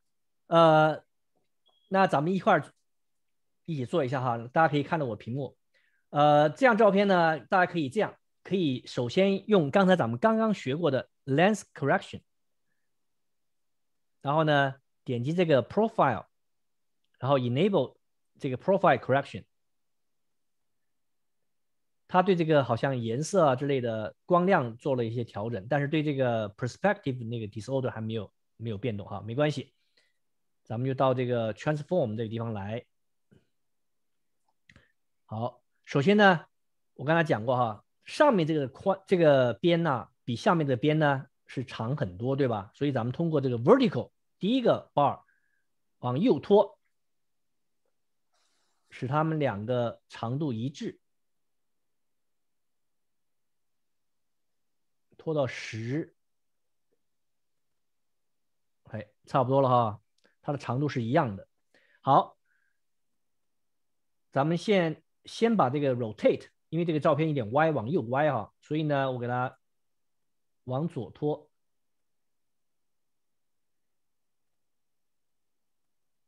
哎，哟，太多了，往右一点点。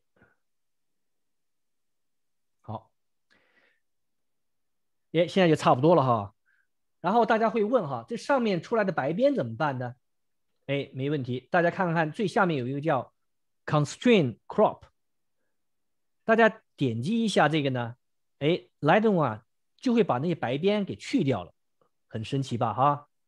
它自动它知道你在哪个地方做了裁剪，它就给你裁剪了。假如说你对这个裁剪还不满意的话呢，你可以自己再用咱们学过的这个 Crop Tool。进行裁剪，上面还有一点白边，再往下拖一拖，哎，现在看到的就是好像就是你平视这张那个镜框一样，这张那个照片一样，对吧？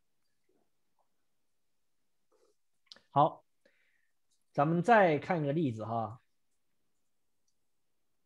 这个呢是呃。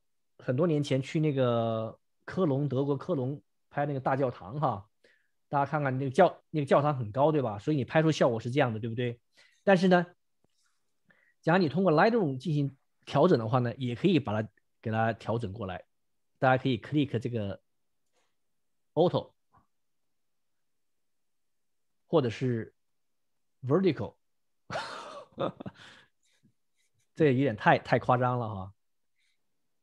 但是就是说，可以通过这例子，大家看看这个这个 Lightroom 它里头这个这 transform 有多么 powerful，它直接可以把这个你在下面拍的这张照片，给它变成好像你在很高的地方拍的照片一样哈。当然，你可以 click 这个 constraint crop，给它 crop 下来哈，下面就下面就被裁掉了。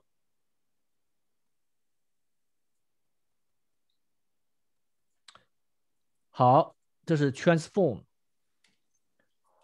呃，咱们接着往下走，下面呢是叫 effects。effects 呢，呃，是让你调各种效果。实际上最有用的是什么效果呢？咱们咱们刚才提到了这个暗角，对不对？咱们看看这张照片吧。这是这是刚才咱们通过这个 slip slip toning 呃 toning 达到这个效果哈。好，大家都把这张照片打开哈。假如说你不是这个效果的话，没关系，咱们就是我给它给它还原吧哈，还成这个也这种那个原片。好，大家把这个 effects 打开，effects 打开呢。它主要的功能就给你就是给你提供一个 vignette，也就是暗角的一个效果啊。有时候特别是拍这个人像照片哈，你有时候呢做完照片以后呢，很想就是突出这个中间的这个模特哈，然后呢把这个四周啊给它变暗。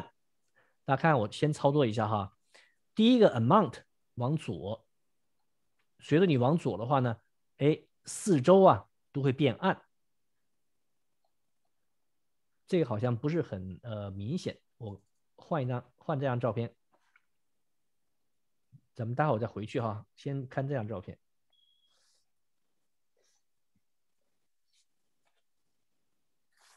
先给它 crop 一下。好，这也是一张人像照片哈。好，我回到这个 effects，然后呢，在在这个 amount 的地方呢，往左拖，这回大家就可能看得很清楚。它四个角啊，就慢慢的变暗了，看没看到？啊，拖到最最最左边了。这是 amount，就是说它的暗角，这个暗的多重。第二个呢叫 midpoint，midpoint 呢是指你这个暗角啊，这个椭圆它的中间是在什么地方？看到没有？你可以自己试试着在中间，然后呢再往左，再往左。变小了。好，第三个呢是叫 roundness，就是说它这个这个形状啊是圆的吗？还是变成这种快近近似于这种方的？哈，大家可以自己随着自己的爱好吧，可以调。好，第第五个呢，呃，第四个呢是 feather，feather 就是咱们原来讲过的这个羽化哈，就说它从暗到亮的渐变过程，像现在呢是 zero 羽化，所以你看呢，它就是一条线，看到没有？假如说你不想不喜欢这个效果的话，一般不能用这个 zero 哈，可能是要一点渐变，对吧？过渡可以调到这个地方，然后呢，最后是 highlight。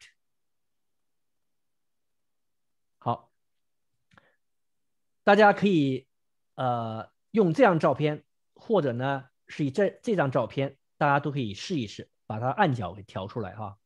可能可能这张照片更效果更明显一些。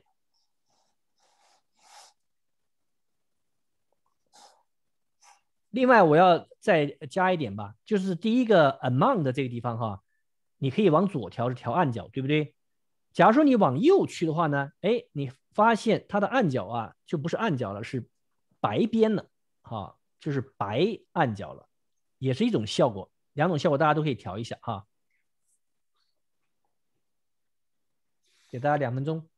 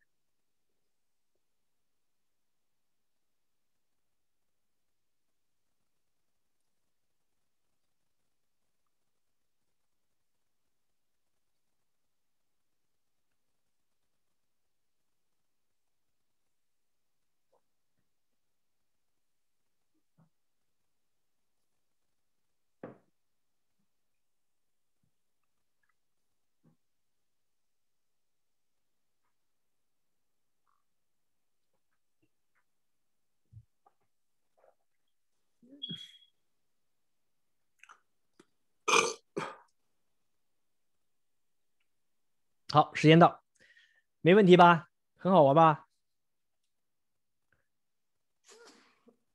田老师问个问题，你刚才摁哪个键就变成把它那个 crop 就一下子就变成一个长方形？是 X 是那个 portrait 是横的，你怎么把它哪个键就是刚原始一张照片，然后你摁了哪一个键就变成你每次都选这个，就变成这样的，就就你不是说那在 crop 在 crop model 里面，如果你摁一个 X 就变成那个 portrait 那个选对了，对然后你刚才是摁哪个键就变成你要选刚才选的那个？我没有摁哪哪个键，你说这张照片是吗？对对对，你怎么会选？对，我就我就是那个先进入这个那个 crop mode 对吧？Yeah，然后你然后呢摁什么都，哦，哦，摁一下 shift，你要保证这个 ratio 的话，忘了吗？哦，就你按 shift，shift。OK，这样的话，它这个这个长跟宽的比例就不会变。就不变。对，shift。好，呃，有一个提示哈，就是这个按钮啊，它实际上还有另外一个功能。它什么功能呢？它可以给你弄出一个框边来，是框边还是叫什么？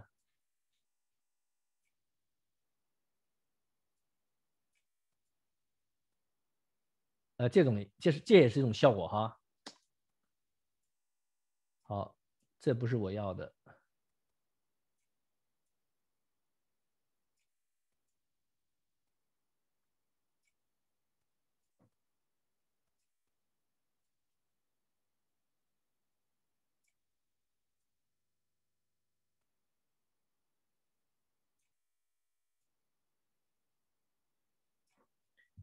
好，这是 mid point，把这个 mid point 啊放到 zero，然后呢，这个 roundness 放到 minus one hundred，哎，大家看到一出来一个一个白边出来了，看到没有？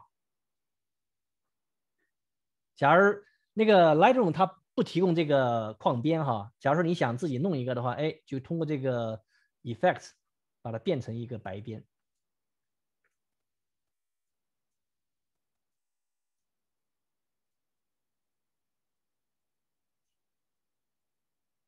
好，这是 effect 哦。另外就是我还没有讲到的，就是说这个这个 style 啊，它其实实际上有三种 style，但用的最多的呢就是这个 highlight priority。另外两种，呃，就是效果非有点类似哈，但是呢效果不如这个，所以呢我建议只用只用这个第一个。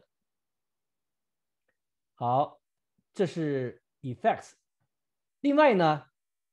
这 effects 下面还有一个叫呃 green，我不知道你们新版本有没有？大家看一看有没有？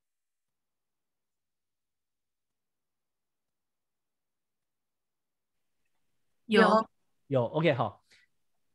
有的话呢，它实际上就是说，它让你啊把这个照片变成就是原来胶片胶片那个机的时代的那个照这个效果。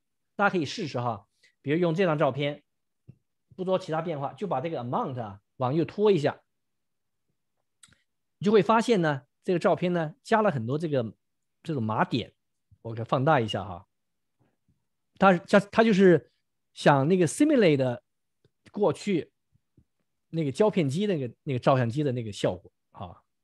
假如说你呃想把照片呢变成那种。很久以前拍的照片的话呢，哎，你可以考虑用这种这个这个 green 的这种 function。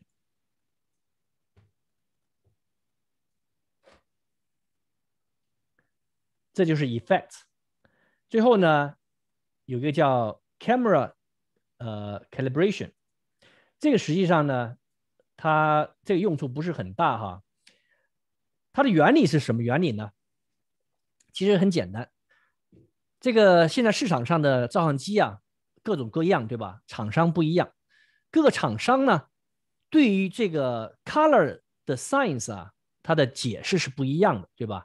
为什么大家说那个佳能的这个皮肤颜色稍微好看一点？就是因为佳能它这个这个 color science 跟尼康、跟索尼或者富士的不一样，对吧？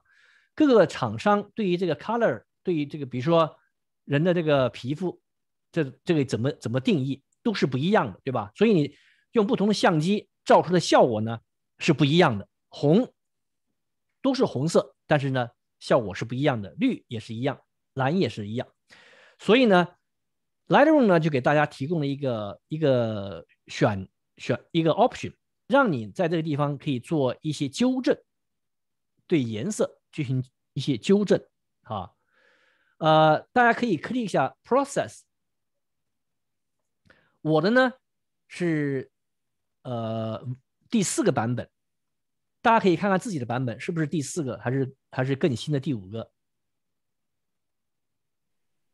第五个，第五个哈，就是说 Adobe 它可能最近几年又又又更新了一点，没关系，这个地方只要大家选择第四或者第五，就是最新的就可以了。然后呢，其他地方你都都可以不用不用理它。假如说你对这个 color 比较 picky 哈，你觉得哎呀这颜色不好看，哎那样的话呢，你可以自己对这个红、对这个蓝、对这个绿自己去做一些纠正啊。但是平常一般是用不上的。好，这个呢就是咱们今天要讲的这八个 topic，讲的内容比较多哈，这个一定要大家下面去去练习才能掌握，不然的话你。你听完完以后，哎呦，觉得好像什么都懂，结果呢，到时候一用就就就全忘记了。这样吧，咱们还是来做下做下那个练习哈。呃，一共有十道题，咱们每道题一分半钟。呃，第一道题，这是有关那个 tone curve 的，咱们用那个 RGB 的 curve 呢，做一下。那个 S shape，把它的对比度呢给增加，这个很简单哈。Alaska 就是那这个那个冰山的照片，给给大家指一下哈，就是这样照片。好，给给大家一分钟的时间吧。好，开始。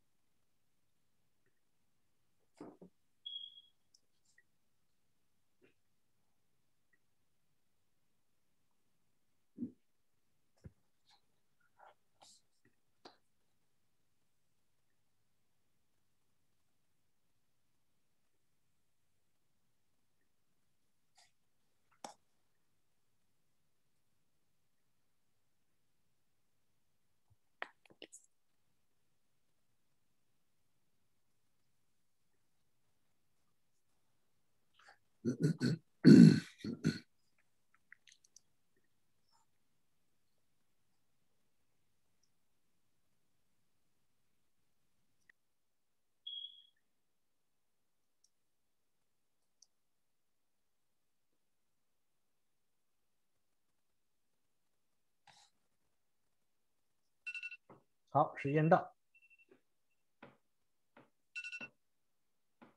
没问题吧？很简单哈。好，第二道题，呃，这这个这道题呢是用这个颜色 HSL，呃，是这样哈，大家可能有新版本没有那个什么，没有那个黑白的哈。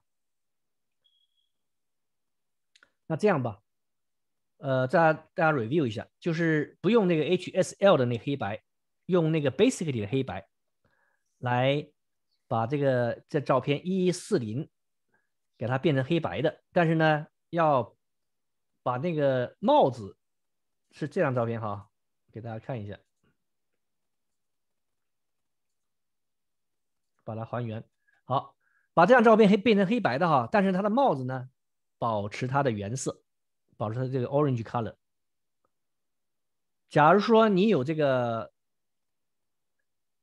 你有这个 HSL 旧版本的，有 Black and White，用这个；假如没有的话呢，就用 Basic 里头的这个 Black and White，好吧？然后呢加再加上咱们上一节课学的这个 Brush，用这个 Brush 这个 tool，我我我给大家提提示一下哈，启动这个 Brush tool 呢，然后呢把这个这个 Drop down list 里面选择一下这个 Saturation 啊，就是把这个帽子以外的东西呢，都都给它涂，用 Saturation 给它降低这个饱和度，但是呢这个帽子不要去涂，这样的话呢帽子的颜色就会保留下来哈。好，咱们大家做一下，一分钟。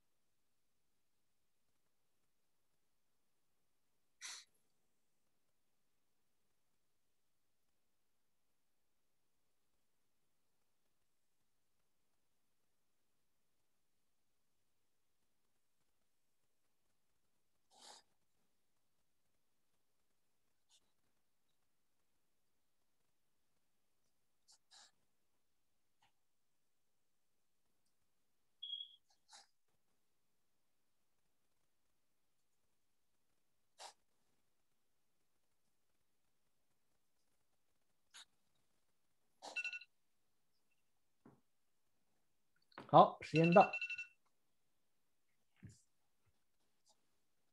都没问题吧？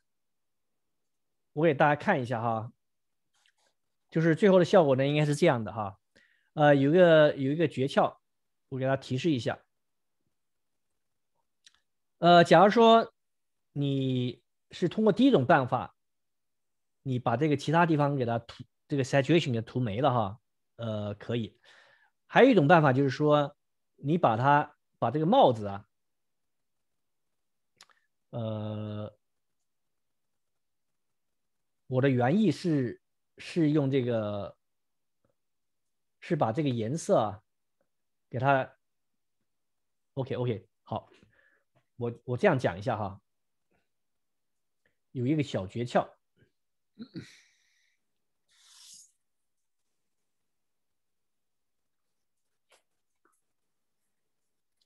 啊，大家 click 这个 color HSL 这个地方。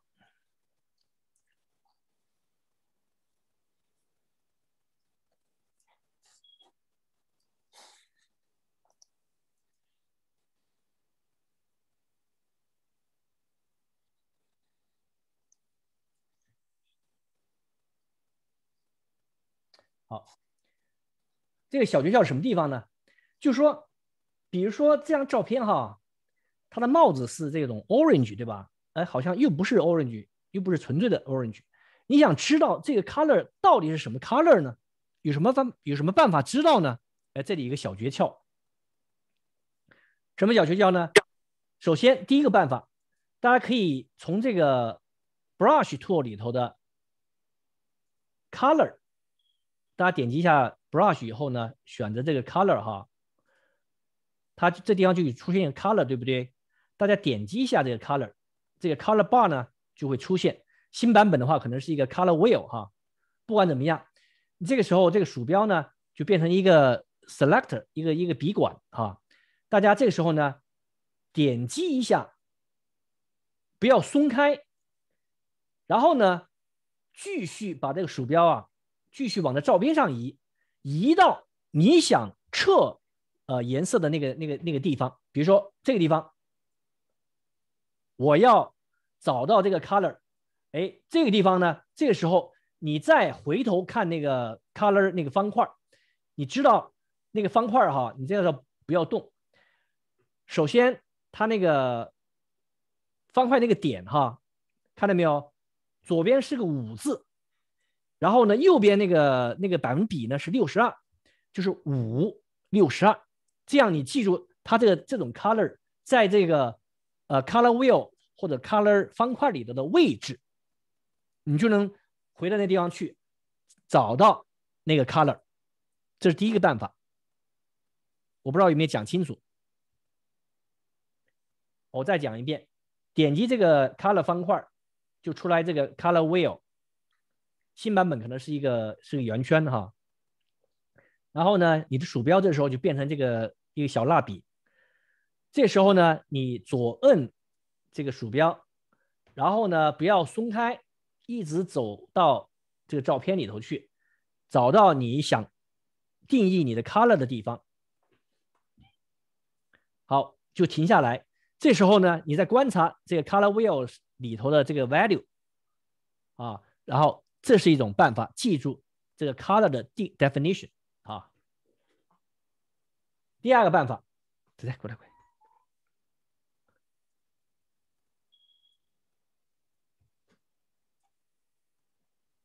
好，第二个办法呢是回到这个这个 HSL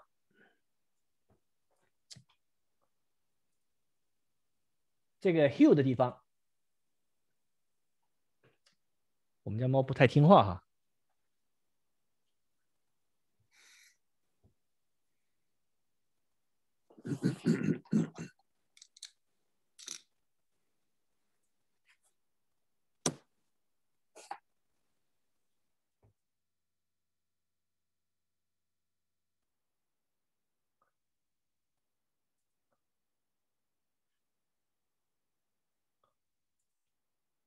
HSL，然后呢，选择这个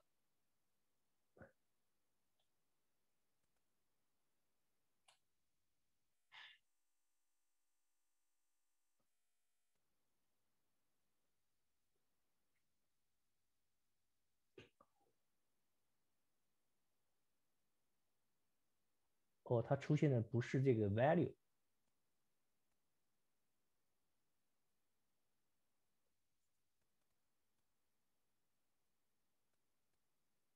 哟，怎么就？哦，OK OK，那就是还是按照第一个办法哈。第一办法就是说，在那 Color Wheel 里面找到它的确定位置，然后呢，你再到那个那个地方去选那个真正的 Color。好，回到这个回到这个作业上来呢，我的原本意思呢，就是说大家先把这张照片给它变成这个黑白的，然后呢，再从那个 Color Wheel 里面呢找到那个颜色，那个原来的颜色，然后呢再。给它 brush，给它涂成原来的颜色。这样的话呢，它 brush 以后的这个 color 帽子的 color 啊，跟原照片的 color 是一样的哈。就稍微有点、有点、有点倒了一下哈。好，这是第二题。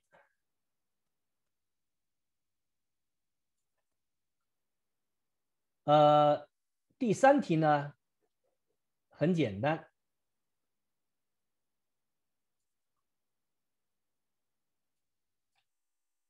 把这张照片呢变成黑白的，但是好像大家没有这个没有这个 HSL 的 Black and White 哈。这样吧，就就用那个 Basic 里头的。假如说你没有的话，就用 Basic 里头的 Black and White。假如你有这个 HSL 的话呢，就用这个 S HSL 里头的 Black White。通过这个八种不同的 Channel 把它黑白，呃，把这个照片变成黑白的。我要求大家，呃，有两种不同的黑白效果，好吧？这样照片，大家做一下，一分钟。假如说你只有这个 basic 的话，那就是呃一个效果，吧？好，一分钟。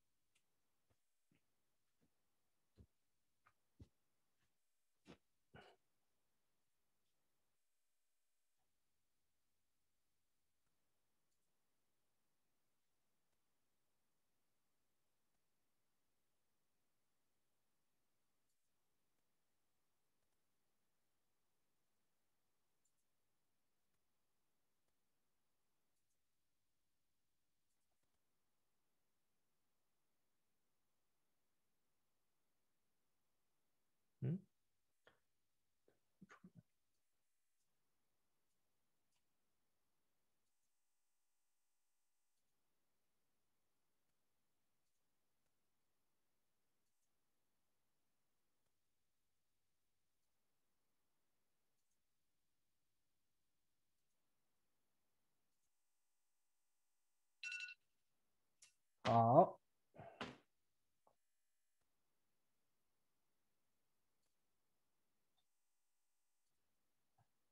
呃，这这道题应该很简单哈，就是通过这个这种八种颜色的不同调配，然后呢，给它造成给它弄成这个黑白的效果哈。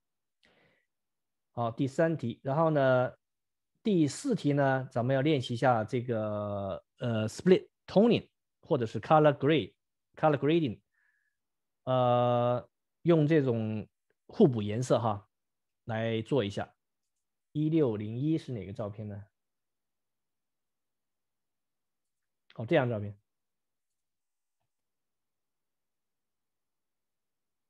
啊，散着那张照片哈。好，开始。呃，你或者用那个呃黄色和那个蓝色，或者是红色和那个青色都可以。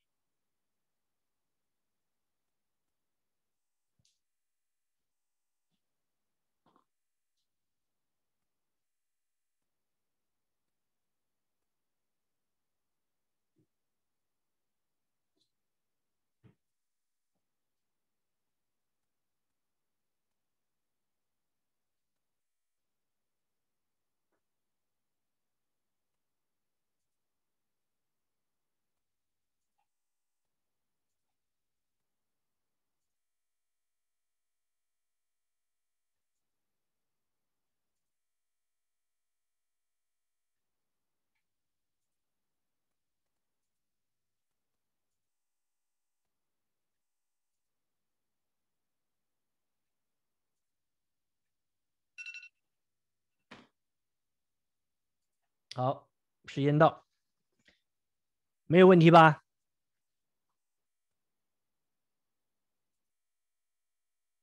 你可以试着把这个中间那个 balance 哈，给它往左拖，往右拖哈，根据个人的喜喜爱。好，这是第四题。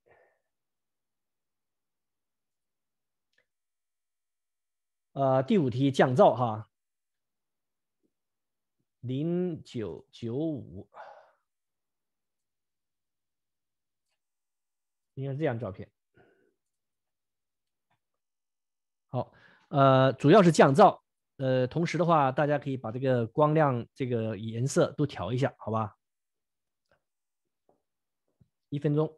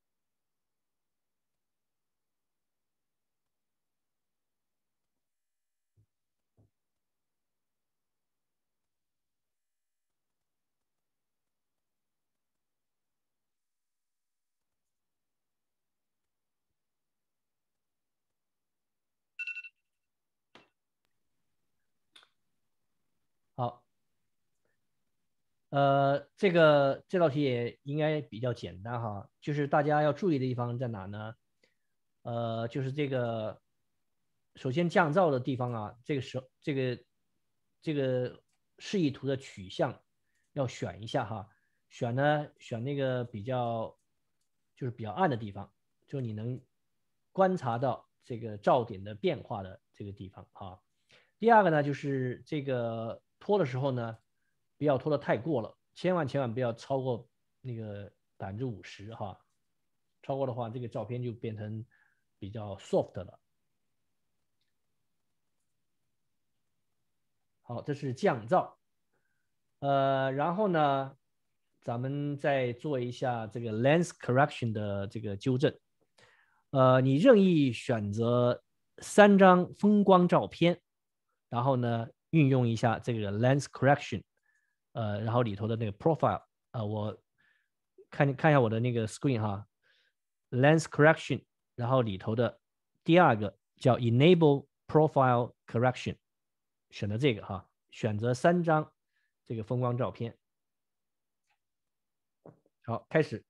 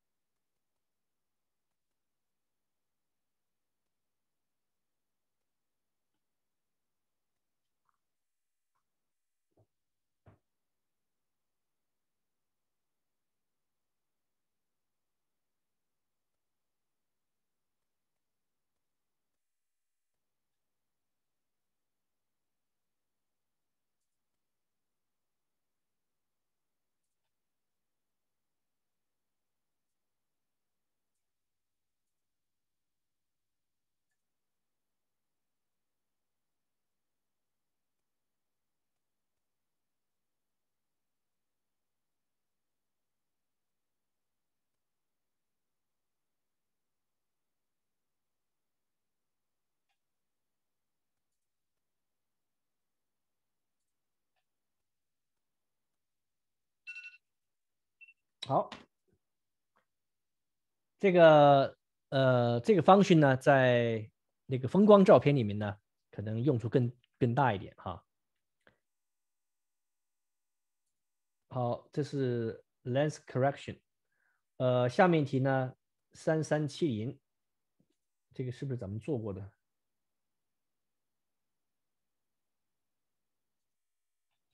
对。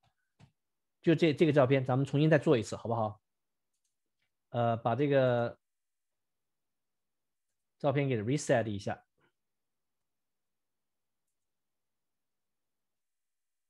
，click 这个 reset。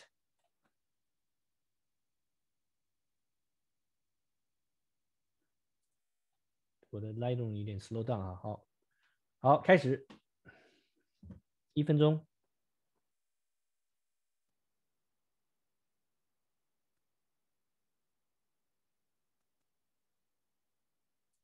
呃，要用那个 transform 哈，transform 这个这个 menu。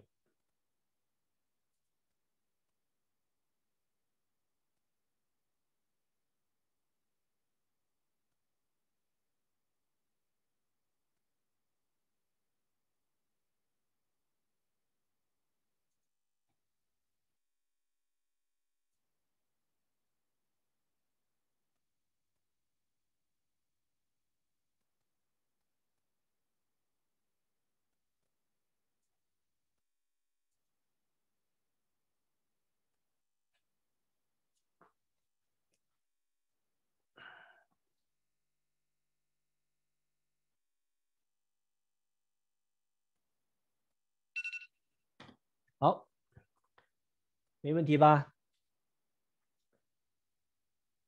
好，下面呢是，哦，这套题有有意思哈，呃，你给给女孩子照相对吧？女孩子总希望把她照的照的这个腿啊长一些对吧？哎，像这样照片就是这样，怎么在 Lightroom 里面哈？那个怎么把这个这个模特的腿啊给拉长呢？哎，这就是我刚才可能没有提到哈，就可以用这个 transform 这个 tool。然后呢，我这里稍微讲一下，其实也很简单，就是这个在 vertical 这地方哈，大家注意到，我呢可以把这个 vertical 这个 bar 往右拖，大家看是不是人呢就就变长了？当然你不能太过了哈，太过了这个人比例就不协调了哈，就差不多不不超过十吧，七哎，这个地方就差不多了。然后呢，因为你是给它变形了对吧？它上面这个 pixel 就没了。这时候呢，大家就一定要用运用到这个下面这个 constraint crop，点击一下，它就给你裁剪了一下啊，神不神奇？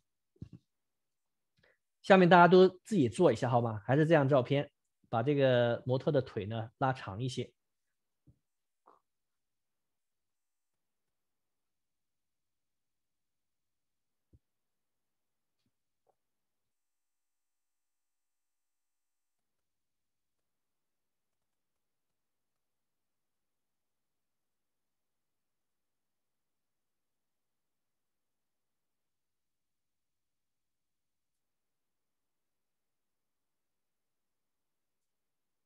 好，没问题吧？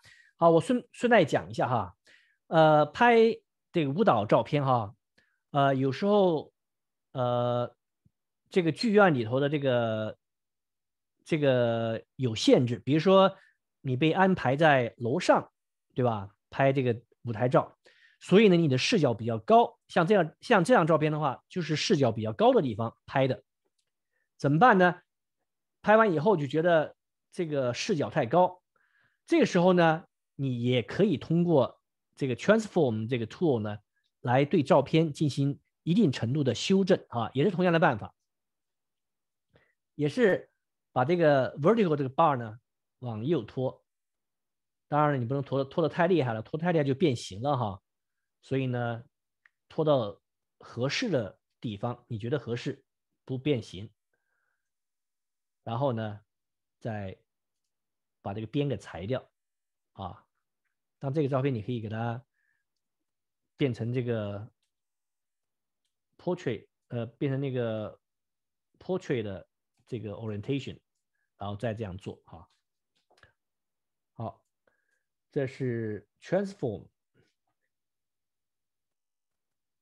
然后呢，第九道一八四又是一分一八四暗角。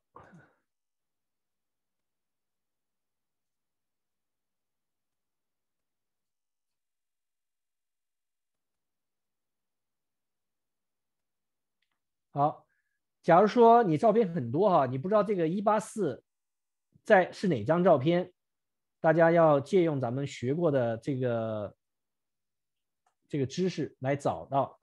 首先，click library 这个 module，然后呢，摁一下这个移速那个键，它就会把这个这个 bar library 的 bar 给 activated，所以大家都可以看到 text。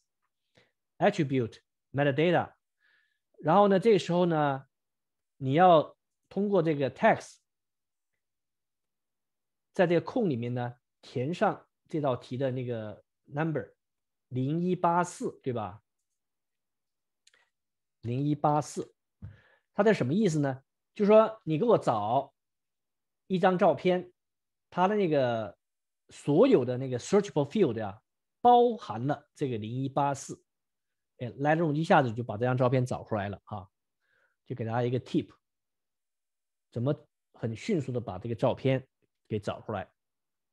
好，就是一张那个咱们修修改过的照片。呃，咱们这个照片呢，这个题目呃不是这个练习呢，是让大家把这个黑色暗角效果呢给弄出来，就用那个 effects。一定要回到这个 developer 这个 module。好，大家开始做，一分钟。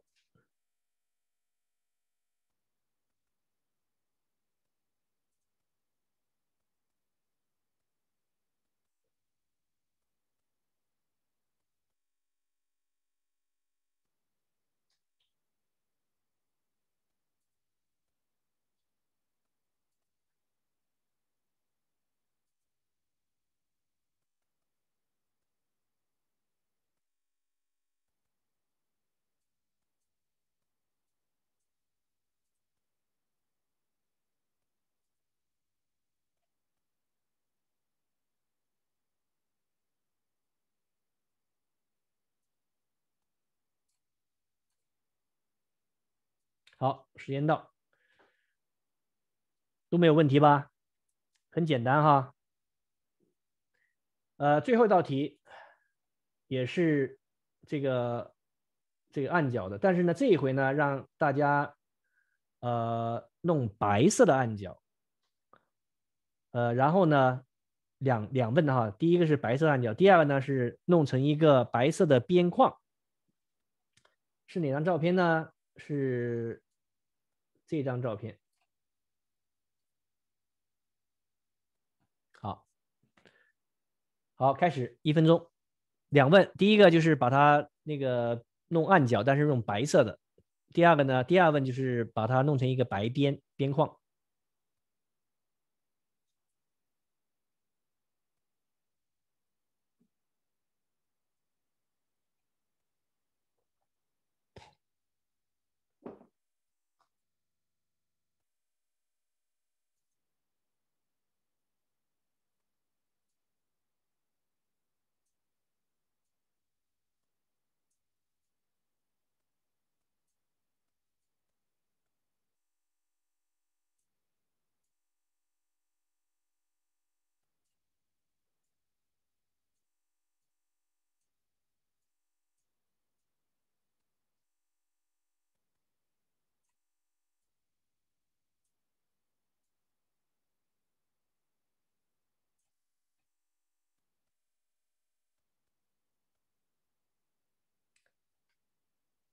好，时间到，没问题吧？最后效果应该是这样的哈。